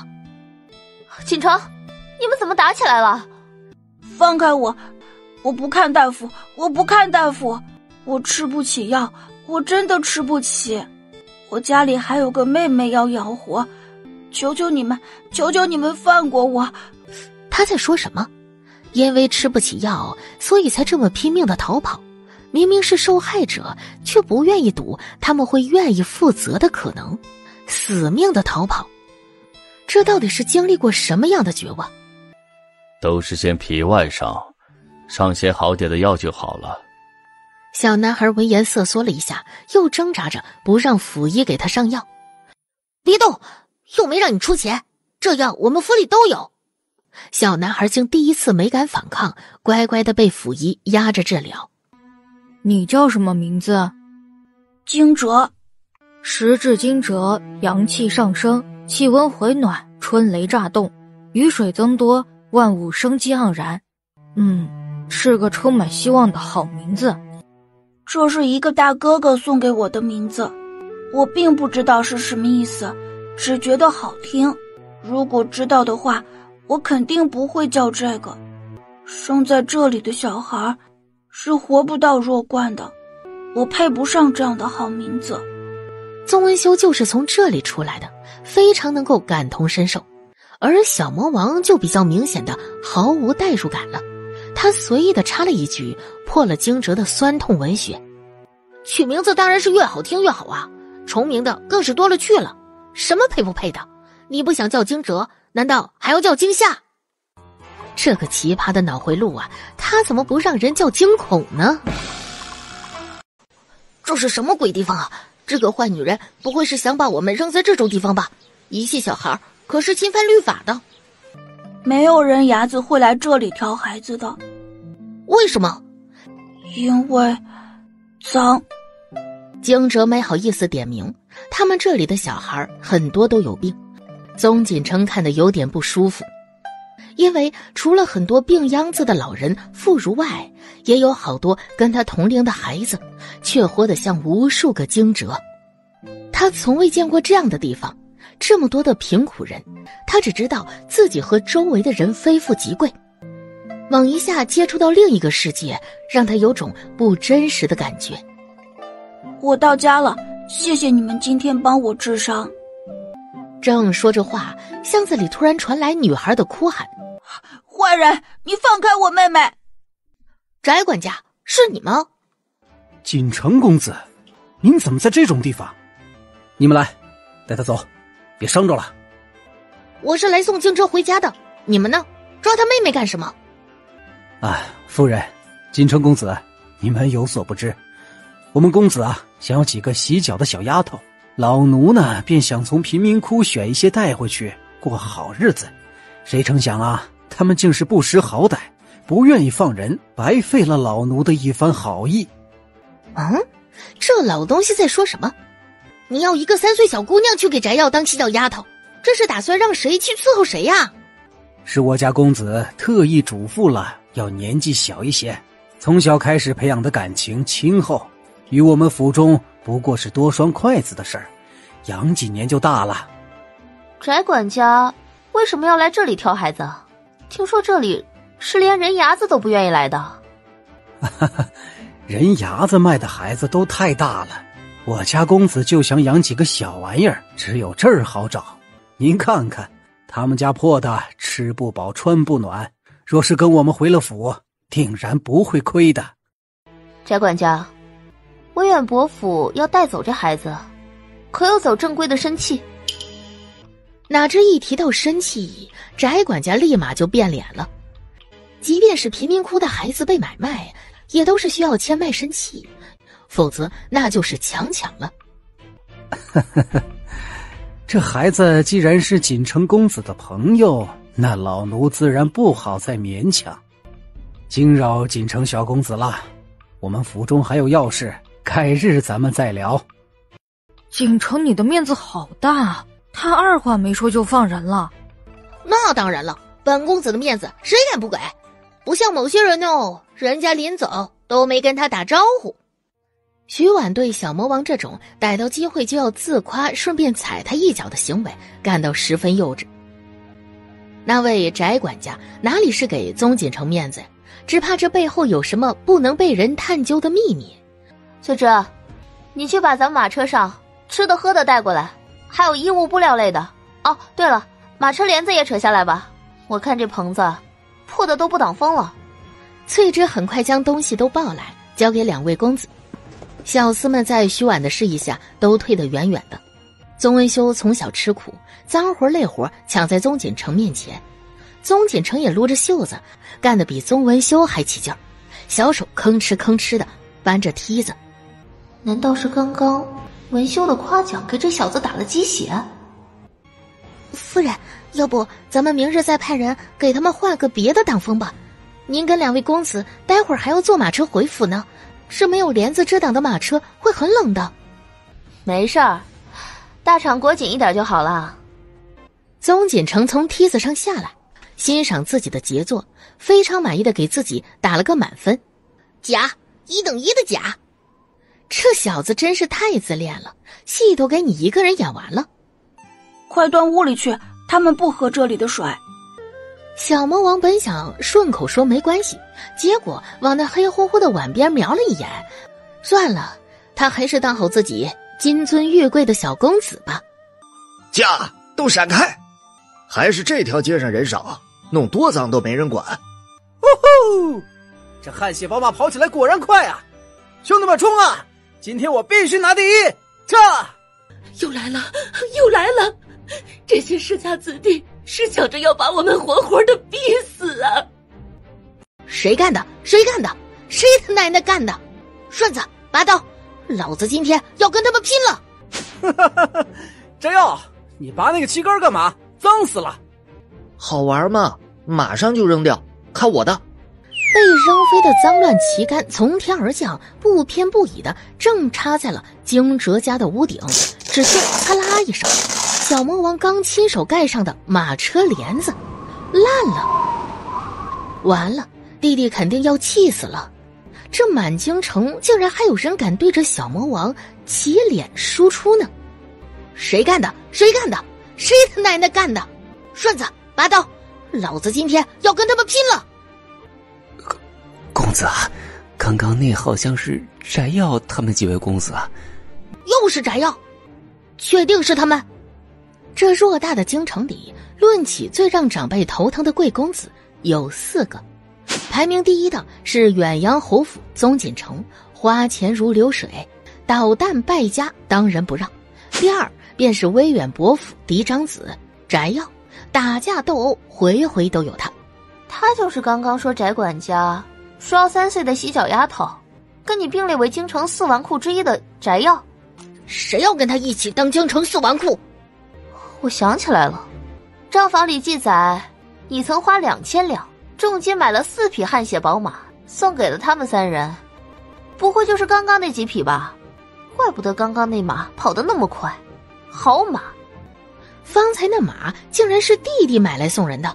听说汗血宝马可贵了，可怕有被纨绔的。哎，这是不是就叫做拿你的碗？砸你的锅！小魔王又被徐婉嘲讽，握紧的拳头好想砸他头上，但是个子太矮，够不着他。可恶！回家一定要再多吃点饭。不管他，文兄，我们过去吃饭。这样不好吧？他跑了一天，应该也很累，现在又这么生气，我想去劝劝他。锦城是经常跟翟耀他们混在一起的。前阵子我让管家断了他的银子后，那几个人。还硬激着他付账，逼得锦城将身上价值几千两银子的玉佩抵了那顿饭钱。但事后锦城也并未跟翟耀他们断绝往来，丝毫没有意识到自己在别人眼里只是一个行走的钱庄。几千两，这次的事也刚好让他亲身体会了一遍，自己辛辛苦苦弄好的东西被别人随意践踏是什么心情。要不然的话，谁也说不准哪天当街 纵马胡混的几个小纨绔里。不会有宗锦城的身影。那么今天就先教他这一课吧：己所不欲，勿施于人。可恶！小魔王本来想找理由去找翟耀算账的，结果算来算去，发现自己也不是啥好东西。宗锦城自闭了。转念一想，那惊蛰他们今晚怎么办？徐婉跟宗文修已经吃的差不多了，眼见着宗锦城呼哧呼哧的跑进来，那黑血宝马我没说送给他们，只是让他们随便玩，马蹄还在府里。惊蛰家要快点给他们修屋顶，不然晚上冷会生病。这这这，这还是他们家的小公子吗？他竟然还能担心别人晚上会不会冻的？老侯爷、老夫人，你们快看呐，祖宗显灵了！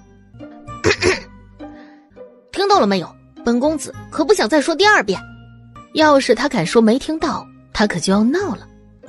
夫人已经派人去帮金哲修屋顶了，就是，原来你那几匹马没送出去啊，终于不那么肉痛了。听夫人说要上千两银子呢。哼，上千两银子算什么大钱呢？咱们府里就银子多。小土包子没见过世面。小土包子，宗文修不是没听过这个称呼，但是从弟弟的嘴里说出来，还有点怪人的样子。大少爷抓起肉包子就开始啃。后院书房，宗文修正安静的默写文章，而他那位大少爷弟弟就不一样了，一本厚厚的书盖在他的脑门上，书角隐约还湿了一片，显然是正在跟周公畅聊。公子。刘管家将那三匹马要回来了。宗锦城被这声吓了一跳。哦，顺子，你大呼小叫干什么？对不起，公子，我没看见您在睡觉，以为您在读书呢。不言什么时候回来？不言是他房里被徐婉撤走的五个仆人之一，人狠活少，武功高，也是他最喜欢的。结果就因为没读过书，跟其他人一起被弄走了。留下的顺子就只会陪他念书，念书，念书，念书，烦死了！哪个老乌龟发明的念书？快了，快了！夫人说，等您将那些书的意思弄明白了，就可以先将不言还回来，月银也可以给咱们涨到五十两。这点银子够干什么的？我连顿饭钱都付不起。修公子的月银也跟您一样的。宗简成这下可找到了难兄难弟，你也这么惨？不惨。我觉得我挺幸福的，二十两是很大一笔银子。怎么可能？连艘船都买不到，好看的玉佩、好马都买不到。一两银子是一千文，二十两是两万文，粮食是五文一斤，换下就能买四千斤。换成你认识的金哲家，够他们兄妹吃上八年。你口中的这点钱，只需两个月的月钱，就够把他们两个养到成年，成为那里唯二长大的人。你在骗我！自己认知里的二十两银子，怎么可能跟正常的差那么远？如果每个人都像侯府那么有钱，那五百两一匹的汗血宝马，为什么翟耀他们不自己买？为什么他们三个人没有一个买得起的？如果连堂堂伯府家的嫡子都买不起一匹汗血宝马，那外面的普通人他们过的又是什么样的生活？这些你都有了解过吗？弟弟并不是坏心思的孩子，他只是生在富贵、长在富贵中的天之骄子。他也不知道自己在享受着这世上少有的奢侈人生。徐婉刚到院里，就听见了宗文修这通换算。这小帮手可真是没找错呀！肯定是你买通了他们骗我，我就知道肯定是假的。徐婉瞧着脑门突突跳的小魔王，更觉得开心了。完了，他越来越热衷看着小魔王生气了，这恶趣味也得控制。嗯，你要是不相信。就走出侯府去看看吧，看看外面的世道是什么样的，看看是不是全京城的人都被我买通了。我当然会去，看我不揭穿你们的谎言！骗子！什么四千斤粮食？要是粮食这么便宜，那为什么我吃一顿饭要几十两？看这孩子无忧无虑的，老夫人把他疼得跟宝一样，这日子过得比王孙贵胄都舒服。这样其实也挺好的，一辈子也能过得快快乐乐。这可能就是老侯爷。和老夫人前八年的考量吧，不知道他们如今为什么又有了改变的想法。午饭时候，小魔王还没回来，徐婉招呼宗文修先吃着。我还是再等等弟弟吧。别等了，瞧那小子不服气的样子，非得把几条街问个遍不可，不到傍晚是回不来的。真的不要人跟着去吗？你还担心他的心理承受能力差？弟弟毕竟比我小两岁，想太多了。他虽然娇生惯养的，但脸皮厚啊，不然以前怎么老想着折腾别人？说起来，要不是你祖父祖母不同意，那小鬼还挺适合习武的，肯定皮糙肉厚，耐操练。粮食怎么可能真的这么便宜？五文，我这辈子都没听过这么少的银子。那些麻布衣服怎么可能才十几万？那我穿的衣服为什么要几十上百两？哦，还有醉香楼。顿顿收我几十两的饭钱，他们的鸡难道不是蛋里孵出来的吗？他们的菜难道不是锅里炒出来的吗？什么地段？京城最繁华的地段，也不过一只烧鸡卖我二两啊！一只活鹅才几十文，太坑人了！我都被他们骗了。徐婉坐在院里，悠闲的看画本子，听见这些吐槽，笑得看不进书上的内容。问的怎么样了？外面所有街上的百姓，是不是都被我买通了？这女人太过分了，竟然堵在他院子里嘲笑他，信不信他马上就离家出走？徐婉想，要是再继续嘲笑下去，这小子估计就要当场爆炸，跟他同归于尽了。刘管家已经帮你。把那三匹汗血宝马要回来了，但据说你那几位朋友反应挺激烈，说你出尔反尔，送出去的东西又要回来，尤其是那个叫翟耀的，说你要不上门去跟他道歉，以后朋友就没得做了。呸！不做就不做，谁稀罕跟他做朋友？老子的屋顶修的那么漂亮，他啪的就给我插烂了。这笔账我还没有跟他算账呢，还想让我把五百两的汗血宝马送给他，我脑子被驴子踢了才会送给他。刘管家，刘管家呢？听着，要是以后翟耀再敢来侯府找我，你就给我三棍子打出去。小人保证，以后咱们侯府连一只姓翟的鸟都飞不进来。谁家鸟有姓啊？你这个笨蛋！晚饭给你放在屋里，今晚不用去前厅了，好好休息吧。喂，怎么了，大少爷？月盐二十两太少了，我要五十两。你都知道外面正常的物价了，怎么还嫌少？那也少，都不够养两个人到成年。徐婉一下就听懂了他的言外之意，这小子想把银子都送给江哲兄妹。好啊，宗锦城眼睛一亮，没想到他竟然这么容易就答应了。然而，等价交换，你把背下的那些书做到通其意，写其行，我就念在你发愤图强的份上。每月给你五十两的月银，就他奶奶的知道没这么便宜的好事。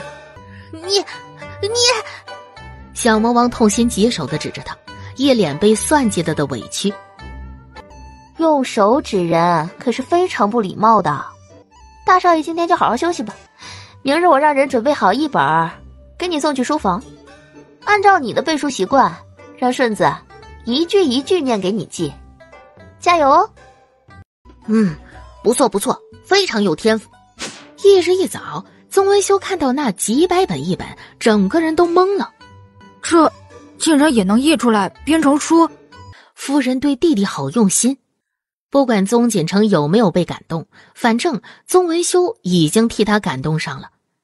哦，怎么会这么多？不是只有一百多本吗？难道是徐婉背着我偷偷在里面塞别的书了？好卑鄙！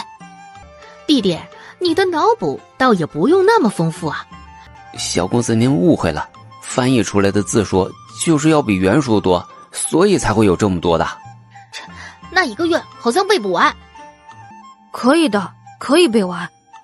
弟弟只要努努力，真的可以背完。啊？怎么背？只要你把每天背书的时间从一个时辰提到两个时辰，就一定可以背得完。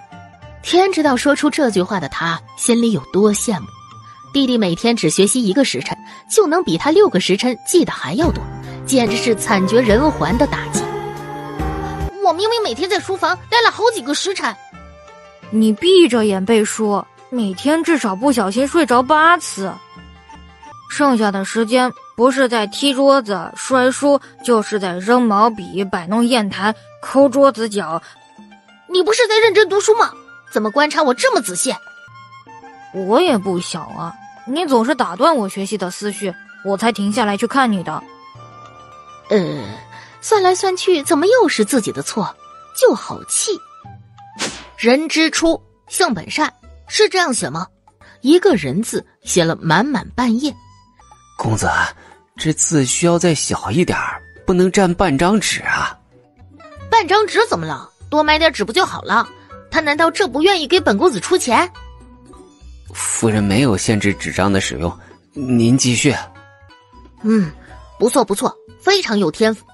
嗯，他要早点习惯弟弟身上这份盲目自信，成就感是给人打鸡血最快的办法。小魔王越写越自信，提着笔刷刷刷就开始画。换纸，研墨，本公子还能再写一沓。天呀，这。这都是陈公子写的，当然是我了，帅不帅？帅，非常帅，简直是帅到天崩地裂、日月无光、神鬼都黯然失色。这样帅下去，其他家小公子肯定被您比的抬不起头来。陈公子厉害！这天以后，小魔王找到了写字的乐趣，天天就在书房里画来画去。别管字丑不丑，反正画就完了。而这时，侯府收到了一个邀请函。半个月后，太子妃生辰，邀请各家贵眷进宫庆贺，大人小孩都去。翟耀他们也在。徐婉想，是时候利用他来给宗锦城下套了。要去宫里一整天，我的战国策还没有画完呢。小孩不是可以不去吗？你干嘛非要我去？学习也要循序渐进，劳逸结合。天天宅在书房里看那么久的书，对眼睛和颈椎伤害很大。我可不想你年纪轻轻就长成个小驼背，那样没法给你祖母交代。哼，你也会怕祖母生气？他要是知道你这两个月这么欺负我，肯定要扒了你的皮。做梦去吧，小鬼头！府里发生的事，老夫人哪件不知道？等进了宫，你就跟着我，别乱跑，有我带着你，保证不会出错。某人呐，也是第一次进宫，在皇宫犯错可是很严重的，我看他怎么应对。嗯，我都听你的。学完眼观鼻，鼻观心，只要他不出风头惹事，那些贵妇们大多不会找他麻烦。不过，还没等进东宫，三人就被拦下了。宋锦城，没想到你竟然是这种人。翟耀，你有病吧？挡着我干什么呀？想找茬吗？哼，我就是没想到，堂堂远洋侯府的未来小侯爷，竟然如此抠门，送出去的东西还要收回来。难道你家里真的就这么穷的揭不开锅了吗？东西是我的，我想送给谁就送谁，想要回来就要回来，契约在我手上。你难道还想抢不成？还揭不开锅，也不知道是谁家揭不开锅。你要有钱，你怎么不自己买？天天找我要东要西的，你羞不羞？别别别！你要了我的东西也就罢了，转头送给贫民窟里那些下贱的贱民是什么意思呀？是觉得本公子连那些贱民都不如吗？宗锦城，你侮辱人也要有点限度。骂谁贱民呢？人家有名有姓，他叫惊蛰。再说了，本公子的东西想送给谁就送给谁，难道还要经过你同意吗？你又不是我爹。一个侯府的，一个伯府的，这吵起架来怎么都差一个级别呢？翟家那小娃娃怎么敢的呀？此言差矣。翟家虽然是个伯府，但他家如今正得圣宠，再看侯府有什么？孤儿寡母的，能掀起什么风浪？虽说宗兆已经消失八年了，但毕竟没有宣告死亡。这人当面说这种话，未必太难听了。你说谁孤儿寡母？我爹还活着，谁许你咒他的？瞧你这孩子，这么激动干什么呀？我就是随便说说，快进去吧，别叫太子和太子妃等急了。别碰我，你这个坏女人！你说什么？大胆，竟敢跟晋国公夫人如此说话，还不快认错！叫你坏女人呢？怎么样？晋国公夫人不跟小孩吵架，她带着怒气朝徐婉开炮。这位就是宗兆家的媳妇儿吧？你房里孩子教的如此不得体，你这个做母亲的难道就不管管吗？确实，这孩子教起来是挺费力的。他就知道，他就知道这女人根本不会跟他一起的。然而，还没等小魔王暴走，但这事儿确实是您的不对。您胸怀宽广，肯定不会跟小孩子一般见识。这里就有劳您跟孩子道个歉。你，你说什么？远洋侯府世代为朝廷尽忠，我夫君的弟弟战死沙场，夫君也在战场中下落不明，武将们无人不痛惜，就连当今圣上也总是念叨了他们。若圣上得知他忠心的臣子被人诅咒，想必也会十分震怒。您说是不是？这帽子扣的大，但晋国公夫人怎么可能会跟自己看不上的侯府道歉？晋国公夫人，这是准备逃走吗？放肆！你胆敢侮辱本夫人！太子妃生辰宴上动武，不太好吧？太子殿下到。见过太子殿下。给太太子殿下请安。都免礼吧？怎么回事？都挤在门口，因何事起了争执？让殿下见笑了。我这正要进去呢，宗夫人非拦着不让我们走，也不知是想跟我们说什么话呢。不准走！他诅咒我爹，还没有道歉呢。这个孩子是谁？小儿是远阳侯府的嫡长孙，宗锦城。小孩子说话没有分寸，还望太子殿下见谅。宗锦城，原来是你。殿下，这位宗锦城就是宗兆的儿子，今年刚好八岁。他重重的咬着“宗兆”两个字，生怕太子不认识这小孩不知道只是他讨厌之人的儿子。谁都知道，宗兆虽然跟太子从小一起长大，亲密无间，但八年前两人突然大吵了一架，从此形同陌路。哼，你都长这么大了，你刚出生的时候我还抱过你。难道太子跟锦城之间还有什么渊源吗？世上都知道这孩子是宗兆的嫡长子。但生母不详，侯府却坚定的让锦城上了嫡子的户。他的生母会不会跟太子有关系？哦，那我不记得你了。没关系，说说看，你这是怎么回事？太子不是跟宗兆绝交了吗？他怎么还跟宗兆的儿子聊上了？太子并未理会晋国公夫人的不满，只专心听宗锦城将来龙去脉说了一遍。生而为人，无分贵贱。你既觉得那里的人是贱民，那必是看不上了。来人，去通知威远伯父，孤要将翟耀送去贫民窟养着，让他切身体会体会他口中贱民的生活。任何人不得暗中帮助。不，不要，我不要去贫民窟。太子殿下，我错了，求您开恩，饶了我吧。带走。殿下，这里人多口杂，若有事，让他们先进来再说吧。也不是什么大事。就是方才晋国公夫人说了句不好听的话，小孩子不懂人情，想要个道歉。那夫人跟他说一声就是了，跟孩子较什么劲呀？我，他堂堂国公夫人，怎么能跟一个孩子道歉？晋国公夫人，你难道要让殿下和本宫在这里陪你耗到天黑吗？妾身不敢，妾身这就道歉，这就道歉，对不起。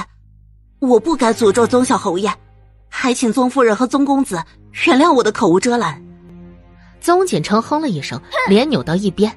这可恨的小兔崽子，等他离开了东宫，一定要他好看。好了好了，大家都进去吧。景琛过来跟姑一起坐吧。太子殿下看起来很喜欢弟弟，应该不会有事的吧？哼，他不会有事。有事的会是我们，啊？为什么？这声为什么在他们进去后立马就明白了。有太子替他们出头过后，一屋子打扮的花枝招展的贵眷们，打量的目光全落在徐婉二人身上。宗夫人，来本宫身边坐。徐婉心里叫苦连天，小魔王不管有意还是无意，都在给他制造麻烦。本宫看殿下挺喜欢你家锦城的。若得空，常来东宫坐坐。多谢娘娘厚爱。锦城性子顽劣，恐进宫烦扰殿下跟娘娘。待妾身再好好教养一段，再送进宫来。行，都依你。本宫看你这继母做的真是尽责，倒是比很多亲生母亲都上心。那当然了，亲生母亲带孩子全靠母爱，而我带孩子是靠那一个亿的大饼。一个亿，白花花的银子，孔子来了都得压着宗锦城每天学八个时辰，都是受我家婆母所托，妾身也不好辜负他老人家的看重。你家婆母也是会看人，瞧瞧你把锦城教的多好，将翟家那个纨绔子数落的回不上话，反应快，品德也极为端正。你说说那些孩子。本宫听说还有什么四大纨绔排行，上榜的全是十来岁的小孩子，调皮捣蛋起来比大人都难管，可没有你家锦城省心。徐婉不语，他生平第一次觉得如此的一言难尽。太子妃好意夸锦城，但好像拍到马蹄子上了。那个锦城好像也在这个榜上，啊？这个榜单是不是有问题啊？里面另外三个孩子会不会也被冤枉了？嗯，还有一个您也见过，就是翟耀。世界观突然就被颠覆了。宴会结束后，宗锦城抱着太子送的端砚，乐颠颠的傻笑了一路。徐婉头疼的扶额，他的计划被太子的突然出手给打乱了。那个翟耀虽然顽劣，但功课学得很是扎实。徐婉本来想利用两人矛盾的加深，刺激小魔王继续读书来着，谁知道这小子直接被发配贫民窟去了，头痛哦！考什么试啊？我最烦这种东西了！你这时候喊我出来，就是想拖慢我的背书进度吧？奇心歹毒啊！京中可有让学子们比试背书的地方？每个学院的月考里倒是有这项，不过他们都是自己院子里的学子互相比的。还有童子科也是考这些的，但是考的会深一些，那是朝廷用来选拔神童的。那个学院里的月考，锦城和文修能去参加吗？我可以出数修，让他们入学，考完再退学。当然可以啦，学院巴不得只收钱不教孩子呢。只是书院那边是按年龄分班的，两位公子，一个八岁，一个十岁，会被分到两个班，考试的难度也各不相同。给他俩报名。两个孩子虽然一个是理解派，一个是死记硬背派，但知识掌握的都非常的扎实，所以徐婉还是特意让翠芝给他俩找个中上游的书院，这种最适合刷成就感。考什么试啊？我最烦这种东西了！你这时候喊我出来，就是想拖慢我的背书进度吧？奇心歹毒啊！今天考完就给你发月银，你会这么好心？当然，我一直是这么善良的人。切！清波书院是那两个人吧？新来的，看起来应该是要去同院的。今天可是月考，他们怎么能这时候来报名入学啊？这两个人一看就是有钱人，只要束修砸的够多，别说月考，科考当天也有院长亲自接待。果然啊，你看，院长真出来了，看来是真有来头啊！哼，我最看不上这种靠家里的米虫。要不是走运投了个好胎，他们连书院大门都考不进来。谁让人家命好呢？就算脑袋空空，也有的是卷子给他们乱画，哪像我们，答题都怕弄脏了试卷。快别说了，那个矮个子的小子看过来了，瞧他那不忿的样子，靠爹还不让人说了，神气什么呀？你们两个说谁靠爹呢？说你呢，小子，这是月考。你有胆子进去考试吗？别哭着出来说不会答。哈，本公子本来就是来月考的，区区一张试卷，谁不会打了？我想考赢你们，简直轻轻松松。哼，你叫什么名字？串的花里胡哨的，就会放大话。我倒要看看你能考出来个什么。宗锦城，你们呢？别等我考完，躲得找不着人。我是吴书森，我叫张志，小子。你考不过我们的，更考不过我们书院的考神秦叶。好，我记住你们了，到时候看谁榜上无名。哼，你别考哭了要退学。宗锦城朝他竖起了中指，这个混账，他到底有没有一点纹身该有的气节？夫人，方才那两个学子虽然不太懂事，但课业很扎实，每次都能拿到乙。小公子跟他们比试，怕是……没事。我家这小子课业也不错，侯府的孩子就是优秀啊，是老夫过于担忧了。夫人教子有方，佩服佩服啊！反了天的是吧？趁我不在欺负我兄弟啊！对了，方才那两个孩子说的秦叶是什么水平？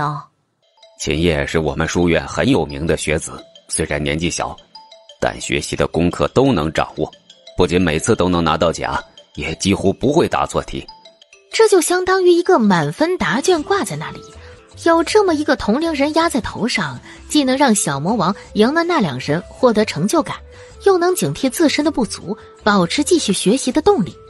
那就请这位秦毅好好发挥，坐稳他第一的位置。文修，你考得很顺利啊，是全学院第一个做完试卷的人。唉，我也是第一次做正经的试卷，不知道正常的时间该是多久。只听着监考夫子说，做完就能出来了。又等了半个时辰，考场里陆续有人走出来，却不见宗锦城的身影，他有些担忧。锦城字写的还不太熟练，他也是第一次面对这么大的题量，需要多花些时间。曾文修一想也是，这次月考的题贼难，你那个方大花的弟弟在里面焦头烂额的考试呢，我看啊，他一会儿就得急哭了。你们还是做好哄小少爷的准备吧。哈哈，考试比的不是速度，而是对学识的掌握程度。我对我的弟弟非常自信，自信他一定会比你们考得好。写个试卷要花这么久的时间，还不是做不出题的原因啊？有些人就是嘴硬，不到黄河心不死，实际上肚子里的墨水没有眼泪多呢吧？你反了天的是吧？趁我不在欺负我兄弟啊！那两人见他回来，也没精力跟他起争执，冷哼一声就走了。哼，等出结果那天，我要你们俩好看！这精神头，他觉得小魔王还能再去做十张试卷。这破试卷没完没了，做了几页还有好几页，写得我手都疼了。是肉酸疼还是经脉酸疼？都疼。我给你按按穴道，这个是府医教我的，对缓解酸疼会有帮助。好，走了，回府让府医给你按。你兄长也刚考了一天的试，让他给你按胳膊，你良心不会痛吗？哼，要你管！这家伙就是个得寸进尺的小懒货。经常哄骗宗文修伺候他，然后欺负老人家的王八蛋！本公子打死你！宗锦城，你他奶奶的还敢来！老子才要和你拼了！两个小孩扭打在了一起，你挥我一拳，我挥你一拳。我是让你动手，还敢打本公子！你知不知道本公子是全京城战斗力最强的？今天非揍得你满地找牙不可！哼！住手！都给我住手！宗锦城，你再敢动我家公子试试！宗锦城闻言又挥下一拳，我又动了，怎么样啊？京城第一纨绔，惹天惹地无所畏惧。动手救下公子！不言如同魔界战神般亲临战场，一手拎着板凳劈手而下，神挡杀神，佛挡杀佛。脏乱的贫民窟里哀鸿遍野。是不言。他是侯府的不言，以前宗小侯爷的陪练，竟然是他，那可是武状元的陪练，能以一敌百。上啊，都上！打不过就叫人去外面叫人。这一次一叫人过来了，黑压压的一片，这还真打算让不言以一敌百了。小公子，你往后退一点。虽然不言能打得过他们，但是人太多了，他们要是抽出人手来冲你来。那奴才拼死也要挡在您面前。你又不会打架，走开！本公子有自保能力。自家小公子人好好啊，他可能是史上第一个被主子保护的仆人。还没等他动，自家小公子就冲出去要加入战场，那架势不像是被迫的，更像是主动凑热闹的。小公子，救命啊！谁来救救他家小公子？就在这千钧一发的时刻。天上突然飞来了一道淡青色的身影，翠柳，你怎么来了？来人可不就是翠柳，远洋侯府的第一女高手。是夫人，肯定是夫人派来的，这下有救了。公子别怕，夫人也来了。啊！宗景城闻言迅速的转头，果然见那狭窄的巷子口有一抹红衣身影，随后便见他身后冲来无数仆人。那些都是侯府的人，是侯府来帮他们了。这讨厌的身体反应！小魔王本想一觉睡到中午，结果连着两个月早起，生物钟都养成了，清晨到点就睡不着了。公子，夫人已经把这个月的月银给咱们了，不言也回来了。这个家没你实在是太苦了。程公子，您的戏太多了。宗锦城好不容易结束这苦逼的读书日子，拿着领回来的五十两银子，叫上了不言、顺子，一道去贫民窟看惊蛰，顺便瞧瞧翟耀的苦日子。翠芝，那个叫不言的武功如何？不言是从前陪小侯爷练武的，武功高强，在京城少有敌手。就他们三个人过去啊？马夫呢？不言会驾车，还真是全能啊！怪不得小魔王天天嚎叫着要人呢。让翠柳暗中跟着他们吧。贫民窟里人员复杂，若是有人对小魔王起了歪心思，只怕不言一个人也应付不过来。更何况翟耀也在那儿，上次翟府的管家还在贫民窟抢孩子呢。自从不言回来，顺子比宗锦城还开心。保护小公子的是他，驾马车的是他，买东西的是他，扛东西的还是他，清闲到仿佛自己也是个主子，爽。公子到了，屋顶是新修的，门也是新的，原来有霉味的褥子、被子都换了，还有惊蛰身上的伤，很快就好了。哼，一个月不见，你看起来长结实了。全靠陈公子送来的救命银，我跟妹妹才能在这里活下来。以后惊蛰这条命就是您的了。宗锦城头一次被人当成救世主来感谢，心里的成就感无可比拟。跟惊蛰说话的时候，全程都在哈哈哈。短短两个月没见，程公子竟然这么爱笑了。这你就不懂了吧？全靠夫人教子有方。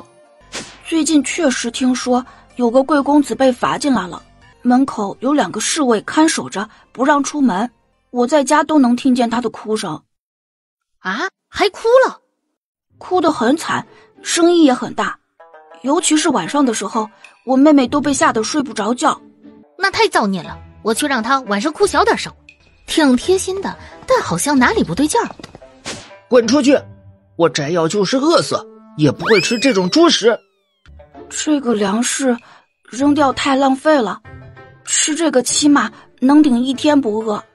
翟耀还是饿得太轻。这是什么人？翟耀不是自己住这儿吗？他们把翟耀送过来后，住在了赵爷爷家，所以给赵爷爷发了一些粮食，让赵爷爷照顾他。但是，翟耀并不吃这里的东西，还经常对赵爷爷又打又骂。他还敢打人？饶是最叛逆的小魔王也知道尊老爱幼，翟耀都敢对老人动手。还没等惊蛰点头，就见屋里扔出来一个板凳，正砸在赵爷爷佝偻的背上。没有我们侯府的允许，谁敢动锦城？这是第二次了。徐婉又站在他这边，宗锦城心里如万马奔腾，胸中暖意连连。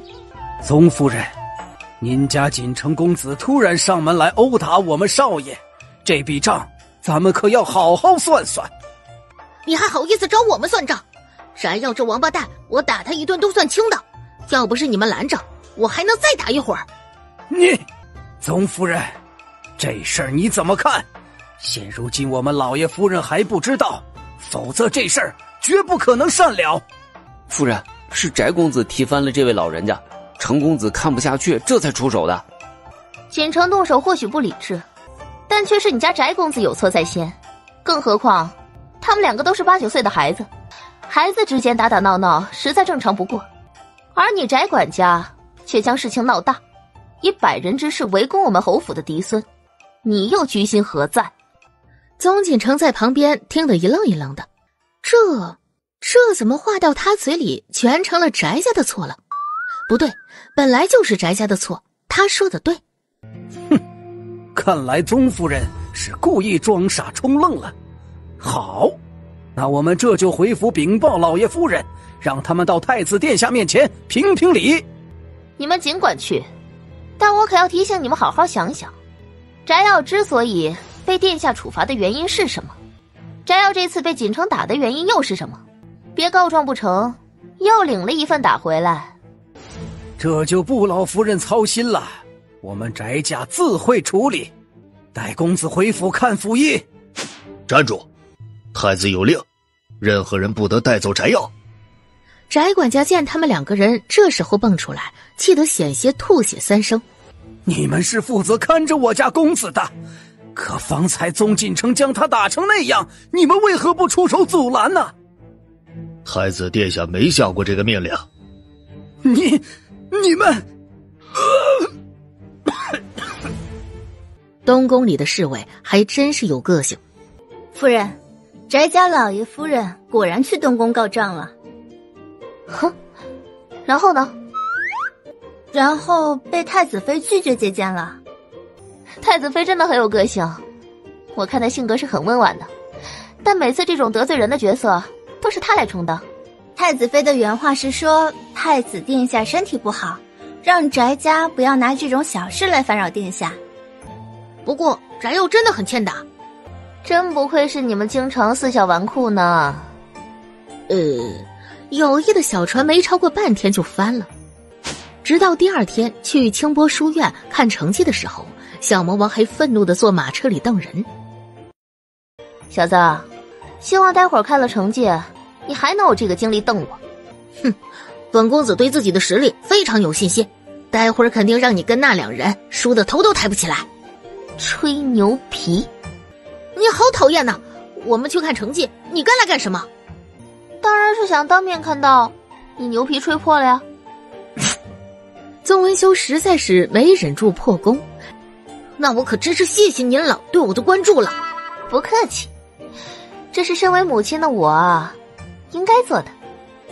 哼，宗锦城哼了一声，一副要离徐婉八丈远才好。这次就当做一次目的考试。你虽然每天很努力在学习，但到底时间太短了，所以就算考不过人家也是正常的。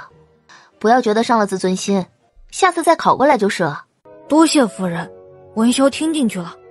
小魔王在旁边越听越怨恼，他不满的瞪着把他当空气的两人。原来你也不是不好说话啊，就是不对他说而已。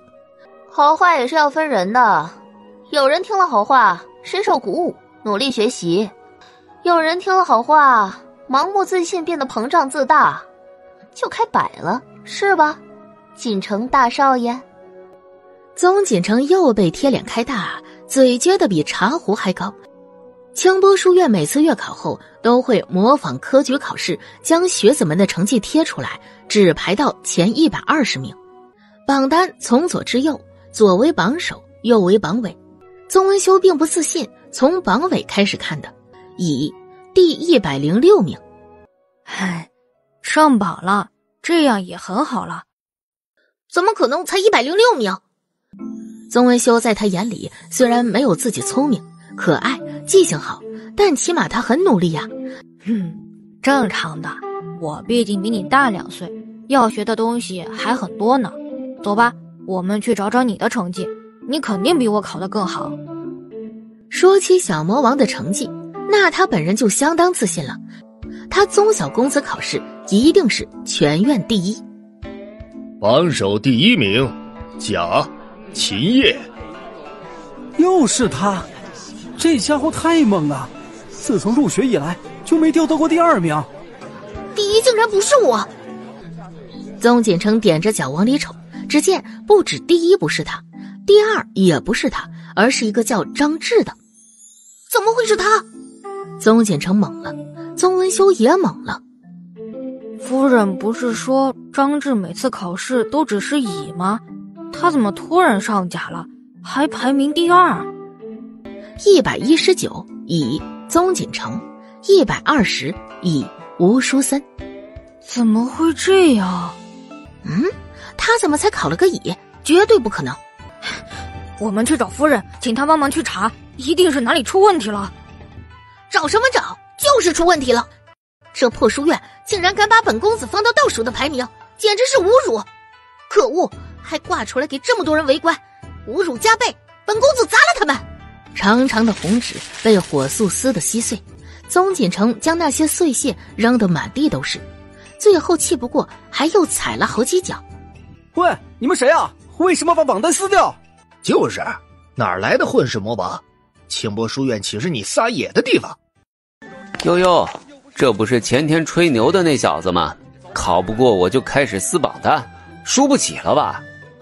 我看也是考不过了，恼羞成怒，不然怎么会在书院发疯呢？你说谁考不过你？就你那成绩，怎么可能考到第二名？肯定是作弊！还有你倒数第一，叫什么呀？你胡说什么？考试的题都是我一道一道答的。倒数第一又怎么了？你个倒数第二，好意思嘲笑我？哼，答个屁！就你们那试卷，简单的要死！要不是你作弊，我怎么可能排名这么低？臭小子，你知道什么是作弊啊？作弊是自己的试卷作假，跟你考这么烂有什么关系啊？院院长，大事不好了！有个学子没考好，把榜单给撕了，现在还在砸桌子。徐婉不确定是不是自己太敏感了，一听到这么嚣张的学子，立马就想到了小魔王。什么？快跟我说说是什么情况？果然是京城那位恶名昭著的混世魔王，他就知道让宗锦城进书院会有这一天，但没想到侯府给的实在是太多了，换谁也拒绝不了。宗公子可是有什么误会啊？宗锦城哼了一声，环胸抱拳，做派更加嚣张。院长是他输不起，考了个倒数就把榜单给撕了，害我们都看不了成绩。不是的，夫人，是我怀疑他们的成绩作假，弟弟这才冲动撕了榜单的。成绩作假？这下不用宗文修帮忙解释，徐婉也大概知道发生了什么。别人或许不知道宗锦城的真实水平，但他跟宗文修是知道的。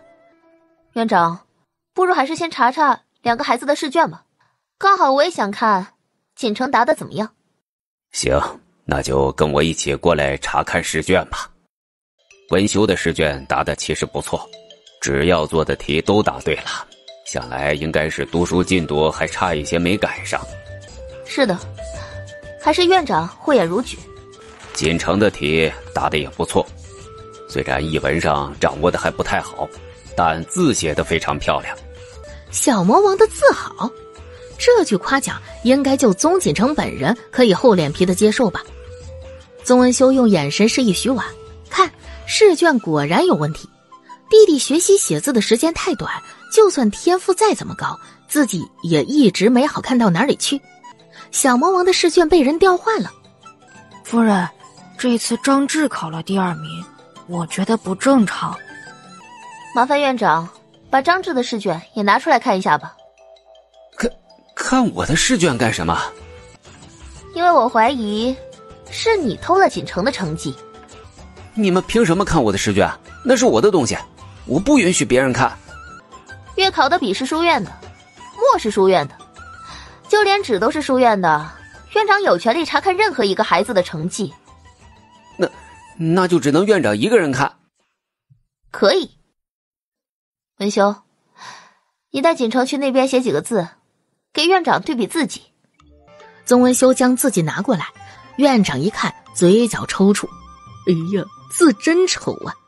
那就请院长再对比一下锦城和第二名的试卷笔记吧。干嘛不对比第一名的？我怎么可能是考第二？因为第一名很强，比你强。胡说八道！我要比第一名的。你要个锤子！宗锦城满脸叹号。院长拿出了张志的试卷，一打开就感觉天灵盖儿都被这破字给丑翻了。这份试卷里每句话都是在顶格写，甚至还有想往外面蔓延的架势。但同时，这丑字跟宗锦城方才所写的确实是相同的笔迹。来人，去把阅卷的夫子给我叫过来。院长，对不起。是我见钱眼开，那张志，张志昨日偷偷塞了我二两银子，就，就什么就，就为了二两银子，你就敢对宗锦城下手？你知道他是谁吗？我们清波书院百年的名声都要毁在你的手上啊！我要查第一名的试卷。你与第一名也有仇怨？不认识他，但他不可能比我考得好。虽然你很强，但你别太自信了。秦叶每次考第一，他的成绩不会有假的。那我不管，我就要查他的试卷。院长叹了口气，还是让人找出了秦叶的卷子。秦叶的字漂亮的好像印刷体，再看他的默写和译文，答的都非常好，堪称完美。这是真人写的吗？不会是印上去的吧？院长，看来我家孩子并不服气呢。能否请这位叫秦叶的学子过来交流一番？锦城想见识见识第一名的风采。是揭穿，揭穿他在作假。谁要见识他的风采？徐婉呵呵一声，白了他一眼。院长也不恼，笑呵呵的让人去喊秦叶。这可是他们的镇院之宝，未来稳进一甲的头号种子，他当然拿得出手。小魔王在院子里等人，屁股像长钉子似的坐不住。我看你精力实在旺盛，去五院耗耗力气多合适啊！谁要去五院呢？天天在泥坑里滚来滚去，还出一身臭汗，脏死了！我才不稀罕练武。是是是，累的不干，脏的不干，需要坚持的不干，没意思的也不干。反正大少爷您呐，就是啥也不想干呗。他哼了一声，继续朝门口张望。宗夫人久等了，您看这孩子就是秦叶。那就写吧，我倒要看看这是不是他的字迹。小魔王说话的语气很差，像是质问和怀疑，任谁无缘无故听了都忍不住生气。哪知秦叶问都没问，提起笔就开始写字。我可以走了吗？夫子留的课业还没做完。啊，好好，你回去吧。干嘛这么急着走？我们还没看呢。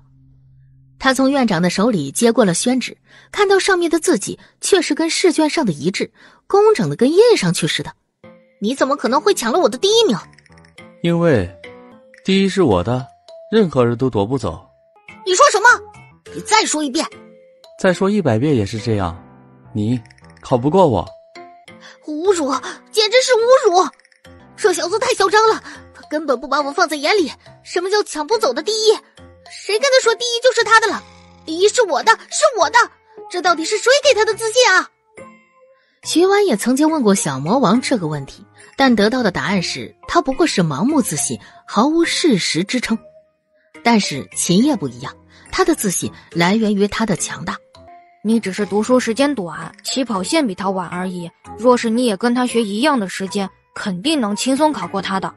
那是，我才学两个月就能考第二。再多学一个月，根本就没他什么事了。徐婉没忍住，嗤笑了一声。宗锦城却被这笑声又一次刺痛了脆弱的小心脏。你又笑什么？笑你的自信太容易找回来了。希望你的实力能早日赶上你的自信，孩子，加油！不就是个第一名吗？本公子就给他抢回来看看。弟弟，你要去哪里？回家看书。史学纪要，地理志。公子，这真是那个秦叶答出来的吗？这些书是连修公子这个年纪都没学到的呀。是啊，这就是他答出来的。这个可恶的小子，本公子马上就能把他干趴下。啊，这个字又念什么呀？这小子总算是吃到囫囵吞枣的苦了。基础不扎实，又总想着投机取巧，就会导致后面的学习越来越困难。锦城接下来要看哪些书啊？你都整理一下，给他注上音，这样他自己在看的时候就认得字的读音了。注音？嗯，很多字都是同一个读音。锦城会读一些简单的字，那些复杂的字，你就按照同音字给他注上。还是夫人厉害，奴才这就去准备。这女人是怎么想到的？难道她真的很聪明？脱胎换骨，脱胎换骨啊！夫子觉得锦城多久？能追上秦叶的进度，这就要看他这股气能支撑多久了。还是夫子有远见，他就是靠这口气吊着的，非得等到超过了秦叶才罢休。非也，非也。啊！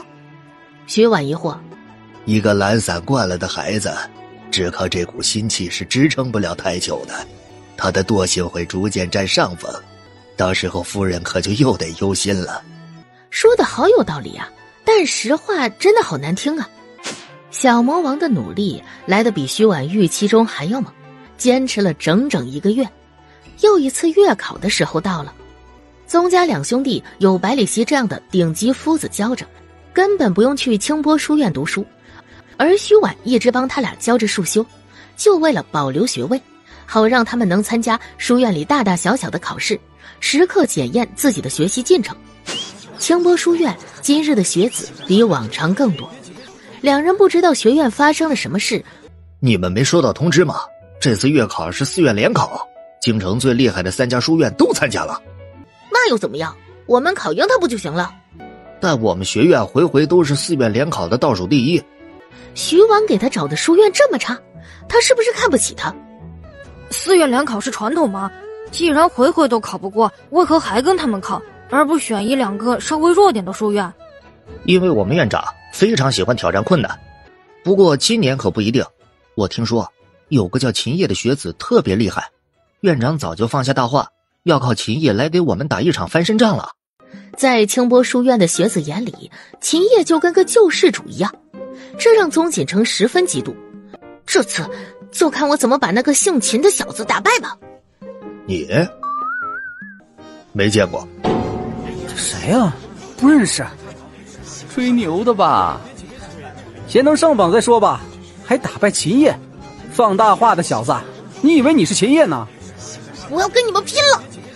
宗文兄十分惊恐，生怕弟弟在考前再跟人打起来。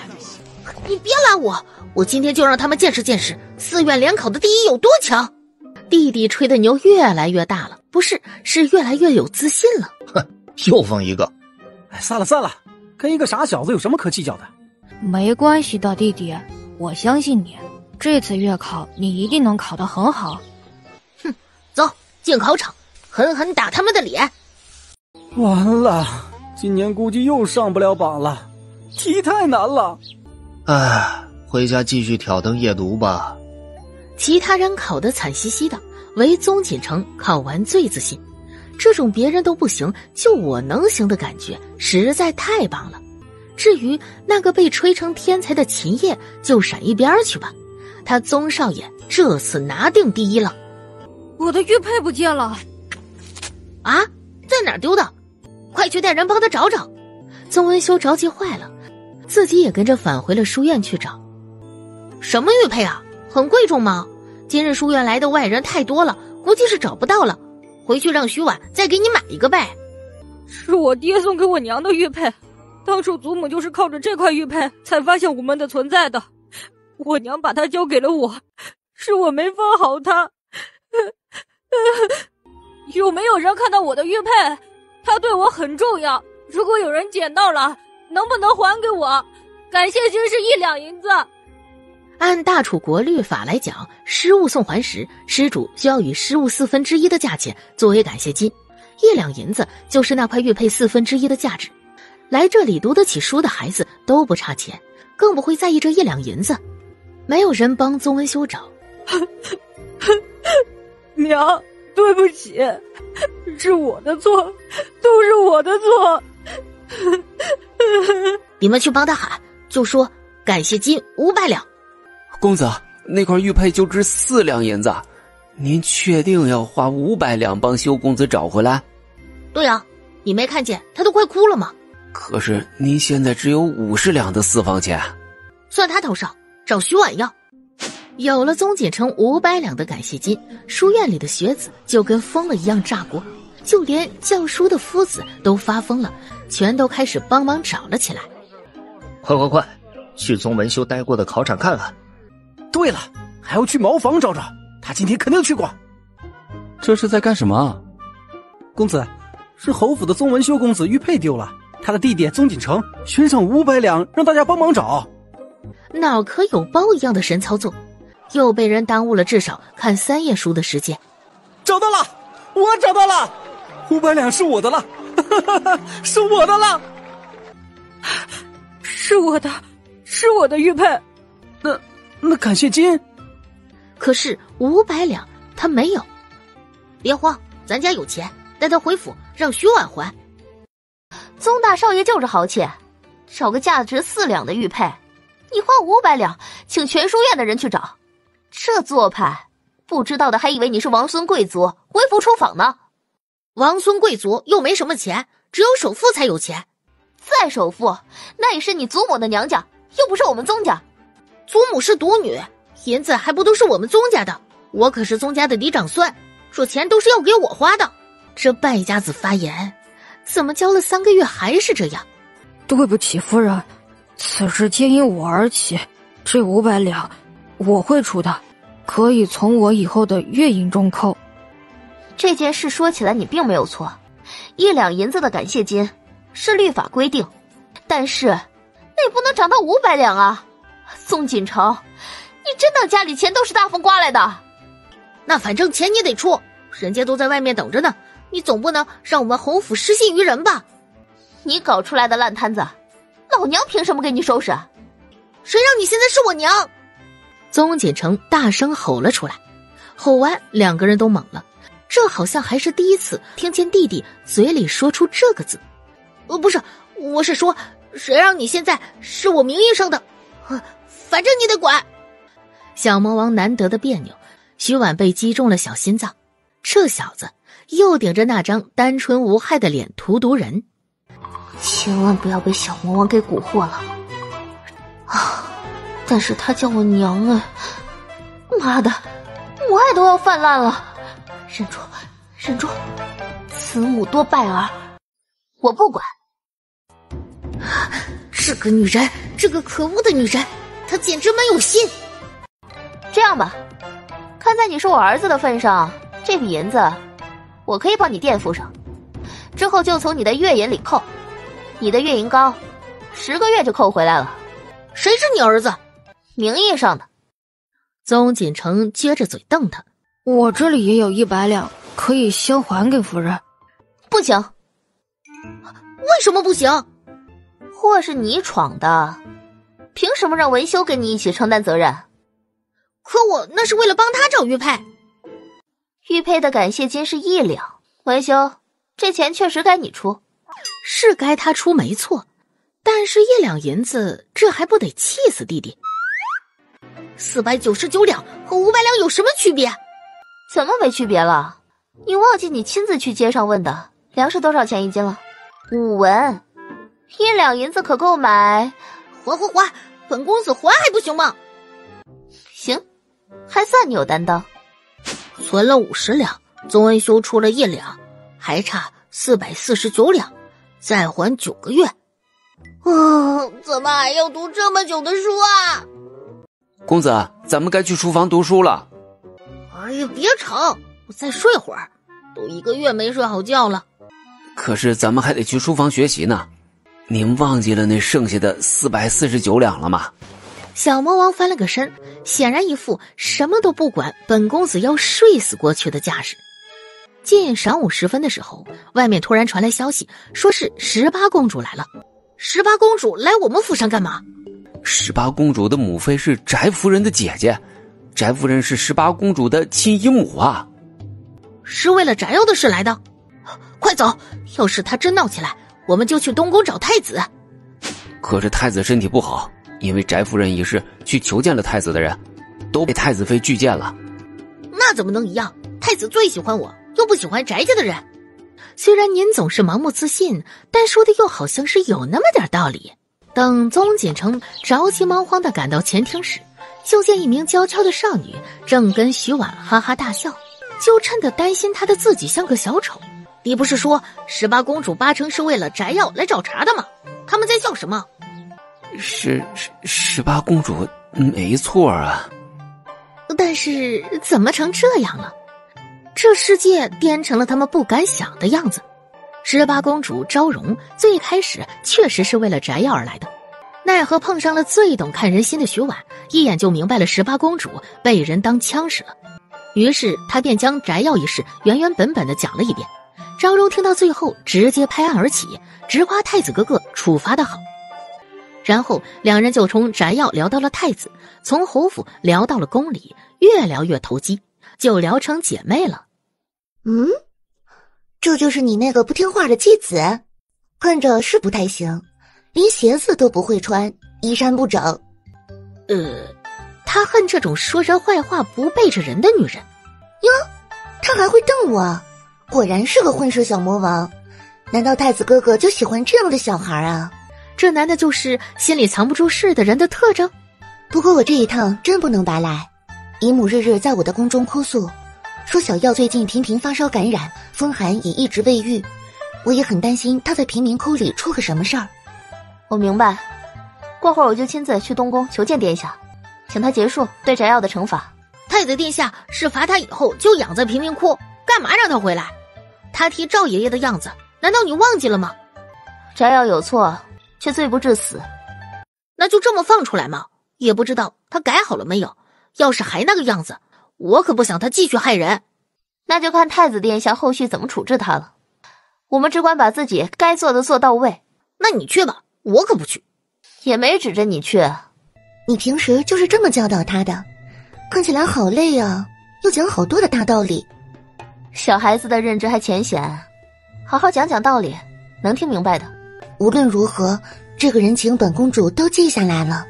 以后你要是有什么事儿，尽管叫人来找我。锦城在书房吗？小公子出府玩去了。他去哪里玩了？又去找惊蛰了吗？去了兵部尚书府何征公子家。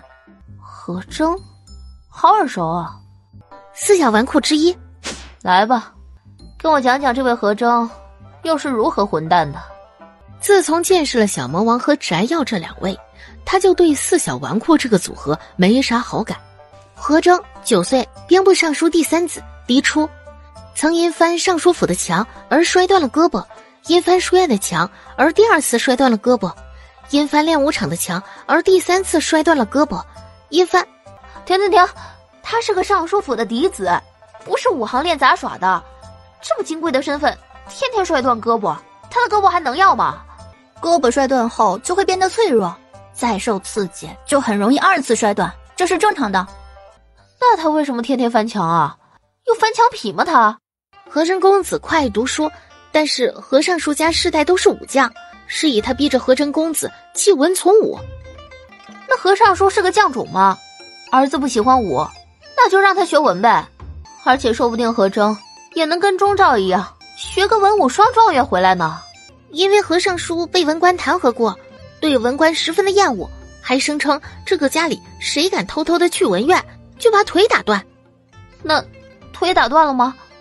本来是要打断的，何征的母亲扑上去不让打，就还好好的。那锦城他去尚书府，该不会是要帮何征翻墙吧？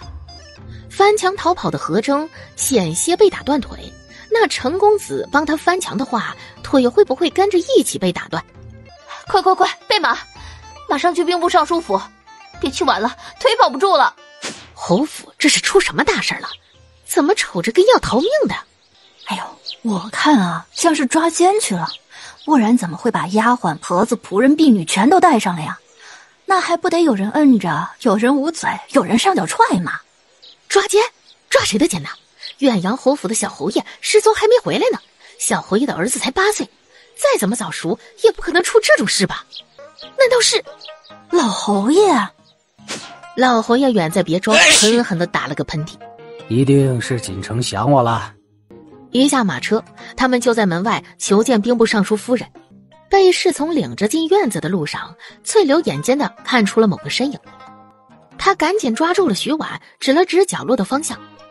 徐婉定睛一看，三魂差点散了两魄。近一丈高的围墙下面，跟叠罗汉似的摞着十来个凳子，凳子们在风中摇曳。随时一副要倾倒的样子，而他家小魔王正扶着另一个小崽子往罗汉凳上爬。翠柳，快把他们救下来！啊，你谁啊？你放开我，放我下来！敢坏本公子的好事，你是不是想被我打断腿啊？你们真不愧是亲父子啊，恐吓人都用的同一句话。不言，把锦书带回来。不言是听话的。小魔王在的时候听小魔王的，徐婉在的时候听徐婉的。不言，你要造反吗？我才是你的主子，你干什么听他的？别拉我，我自己会走。郑公子又想翻墙跑了，快快去通知夫人。劳烦跟你家尚书夫人说一声，锦城家里还有文章要写，改日再来找你们公子玩。我都考完试了，哪里还有什么文章要写？别走，锦城，你是我最好的朋友，他们都和我作对。你得帮我呀！本来都快成功了的。两人活活像是被长辈拆散的一对怨偶，在这里上演生死离别。快拉走，快拉走！再往和尚说，就要出来打断他俩的腿了。殊不知，徐婉这样说话，看起来更像是有奸情似的。锦城，何征，俩小鬼哭天喊地，但架不住徐婉的狠辣无情。那个小畜生在哪儿？和尚说还真来了。好狂暴的声音，听起来像是会家暴的那种父亲。宗锦城用力挣开顺子的前翅，扭头又往回跑。锦城，快回来！这是别人的家务事，你是不是也想被打断腿啊？那是我兄弟，我要不回去，他一定会被打死的。改不改？改不敢？还敢不敢再偷偷翻墙出去读书了？不敢，死也不敢！你就是打死我，我也要读书，我就是不要学武。宗锦城赶到的时候，正听见了这句话，眼前还是他那个天天想翻墙的兄弟，但何征身上宁死不屈的精神却震撼到他了。即使是有那么一个不讲理的父亲，他也还是那么勇敢而坚定的说出自己的喜爱。遛鸟、逗猫、逗蛐蛐、蹴鞠，哪个他都挺喜欢的。但你要说让他为了这份喜欢天天翻墙摔断胳膊，为父亲打得浑身是血，那他的喜欢就没那么喜欢了。犟种啊，两个都是犟种，你犟你的，他犟他的，谁也不听谁的。何征是著名的四小纨绔之一，这小子要是教育不好，长大了绝对是会暴打老子的存在。打，给我狠狠的打，打到他服为止。这种不孝子，老子就是养条狗都比他听话。尚书大人且慢，何征小公子好像被疼晕过去了。你是什么人？老爷，这位是远洋侯府小侯爷的夫人。啊，原来是远洋侯府的宗夫人。来人，给夫人和公子看座。犬子顽劣忤逆，缺乏教训，刚好请两位看看，让他知道知道什么叫丢人。哎，你这父亲当的可真是歹毒啊！故意把孩子的面子往地上摩擦。对比之下，他觉得自己对宗锦城的教育真是温柔的不能再温柔了。尚书大人，何苦对一个小孩子要求这么严格？若他喜欢读书，便让他去读便可。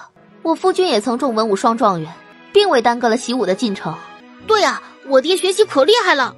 宗兆，何尚书也很欣赏宗兆的武功，但学识就算了吧。但当着人家夫人和儿子的面，何尚书没好意思说出他对宗兆读书的不屑。老爷，真儿，天哪，你怎么被打成这样了？哪个天杀的对你下的手？来人，快去请府医过来。宗夫人，方才多谢你开口阻拦，否则啊，真儿不知道又要多挨上几板子了。应该的，何正小公子和他父亲这种相处模式是有问题的。夫人还是尽早想想破局的办法吧。妹妹呀，我有个不情之请。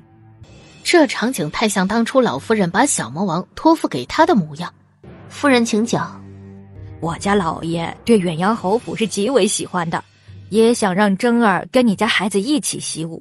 我想着俩孩子在一起玩着玩着，说不定就对习武感兴趣了。不知道能不能让他跟锦城搭个伴儿？不瞒夫人，锦城其实没有习武。难道是景城也不爱习武，爱读书？他爱读书个鬼！他啥都不爱学，就爱玩。是老侯爷不允许。我家二叔战死，我夫君也失踪多年，老人家年纪大了，承受不了孙儿再出事的打击，所以，若是我家老爷能懂，何至于跟真儿闹成这样？妹妹，我觉得真儿还是去你家跟锦城一起玩比较好，也省得他天天再翻墙跑出去。锦城还要在家读书，要是何正也跟着一起读，你家老爷会发疯的。锦城在读书？是啊。锦城近日对读书也来了兴趣，日日在家苦读，每个月还要去书院参加月考，追赶前面成绩更好的同窗。他喜欢读书个鬼呀！我不会再去读书了，一夜都不会再读。什么追赶同窗，他们还用我追赶吗？全是手下败将。四院联考的成绩还没出，你可能连榜单都上不了。盲目自信的小鬼，不可能！这次四院联考的第一名肯定是我，一定是我。肯定不是你，只那个秦叶你就考不过？胡说！我这次肯定能把秦叶踢下去。哦，哼，没希望的。我劝你从现在就挑灯夜读，别等到过几天没考过再去学习，白白浪费了几天的追赶时间。不可能，我不学，我根本不需要再学。他宗大少爷怎么可能会输给别人？还是输给那个没一点礼貌、冷冰冰、没有人情味的秦叶？不可能，他绝不可能输的。小公子这么早就起？嗯，睡不着，出去逛逛。此时的侯府也黑暗无比，只一处有亮光，那是是修公子的房间，他应当是已经起床在读书了。书呆子就会读书。清晨的小贩们推着车，陆陆续续的忙碌着摆摊子，没人注意到哪家小公子这么早就跑出来玩了。他们都有自己努力的目标。嗯，有目标看起来好有趣，可以朝着那个目标去做事。嗯，不言应声，努力当个能聊天的属下。那我的目标是什么？不言不知道该怎么回答。他没有夫人那么能说会道，更没有顺子那样会对症下药的安慰小公子。小魔王转身看见了一家府邸的牌匾“秦府”。说起宗锦城最讨厌的人里，徐婉要说排第一，那第二的就一定是那姓秦的。秦叶这小子真懒，这个点儿了都没起床读书。公子，今天是休息日，那又怎么样？宗文修都起床读书了，就秦叶还在赖床。哼，就他还想跟本公子争第一，等不了多久就要被人踩扁、踩扁、踩扁。不言无语啊，看不懂这幼稚的操作。公子，我看见秦府有个方向是亮着的。哦，哪儿？他二话不说的就将小魔王抱了起来，拖到他自己的肩上。小魔王趴着墙头往里瞅，是秦叶，还真是他。秦叶不知道有没有认识宗锦城，但见窗外有打扰他读书的人后，当啪叽的一声把窗户关上了。秦叶都已经是第一了，还赶什么进度？肯定是觉得第一要被我给抢走了，所以才开始拼死拼活的追赶我。不言无语，他突然就想起了顺子的名言：“小公子的话千万别当真，千万别细品。”可他是怎么知道我会超过他的？难道上次他就看出我有超过他的潜质了？还是他有偷偷来侯府调查过我这个月在努力读书？不言越听越不知道该怎么回答，他觉得这些可能都不太可能。反正不管怎么说，他都有在关注我，正常。换谁碰见了我这么一个优秀的对手，都会有危机感的。呃，不言无语，怎么还没到家呀？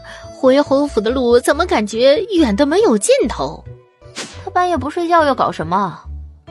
小公子就去街上转了转，然后又路过了秦府。听说还趴在人家墙头上看了一会儿，秦叶家，他趴人家墙头干什么？听顺子说，小公子是觉得秦叶在偷偷学习，为的就是要追赶陈公子。又是被小魔王迷之自信无语到的一天。要我说，人家现在可能都不知道他宗锦城是哪号人物，自恋的小鬼。夫人，那您看咱们要不要给秦府发封邀请函呢？邀请秦叶公子来咱们府里陪小公子读一天的书，你想让秦叶拒绝邀请，让锦城知道人家压根不认识他吗？夫人好像很喜欢秦家这位小公子，努力的孩子，谁会不喜欢呢？嗯，也是，夫人对修公子也很喜欢。其实我也很喜欢锦城的，但是要压制住对他的喜欢呢，不然让这小子感觉到了，还不要得意的翻了天呢。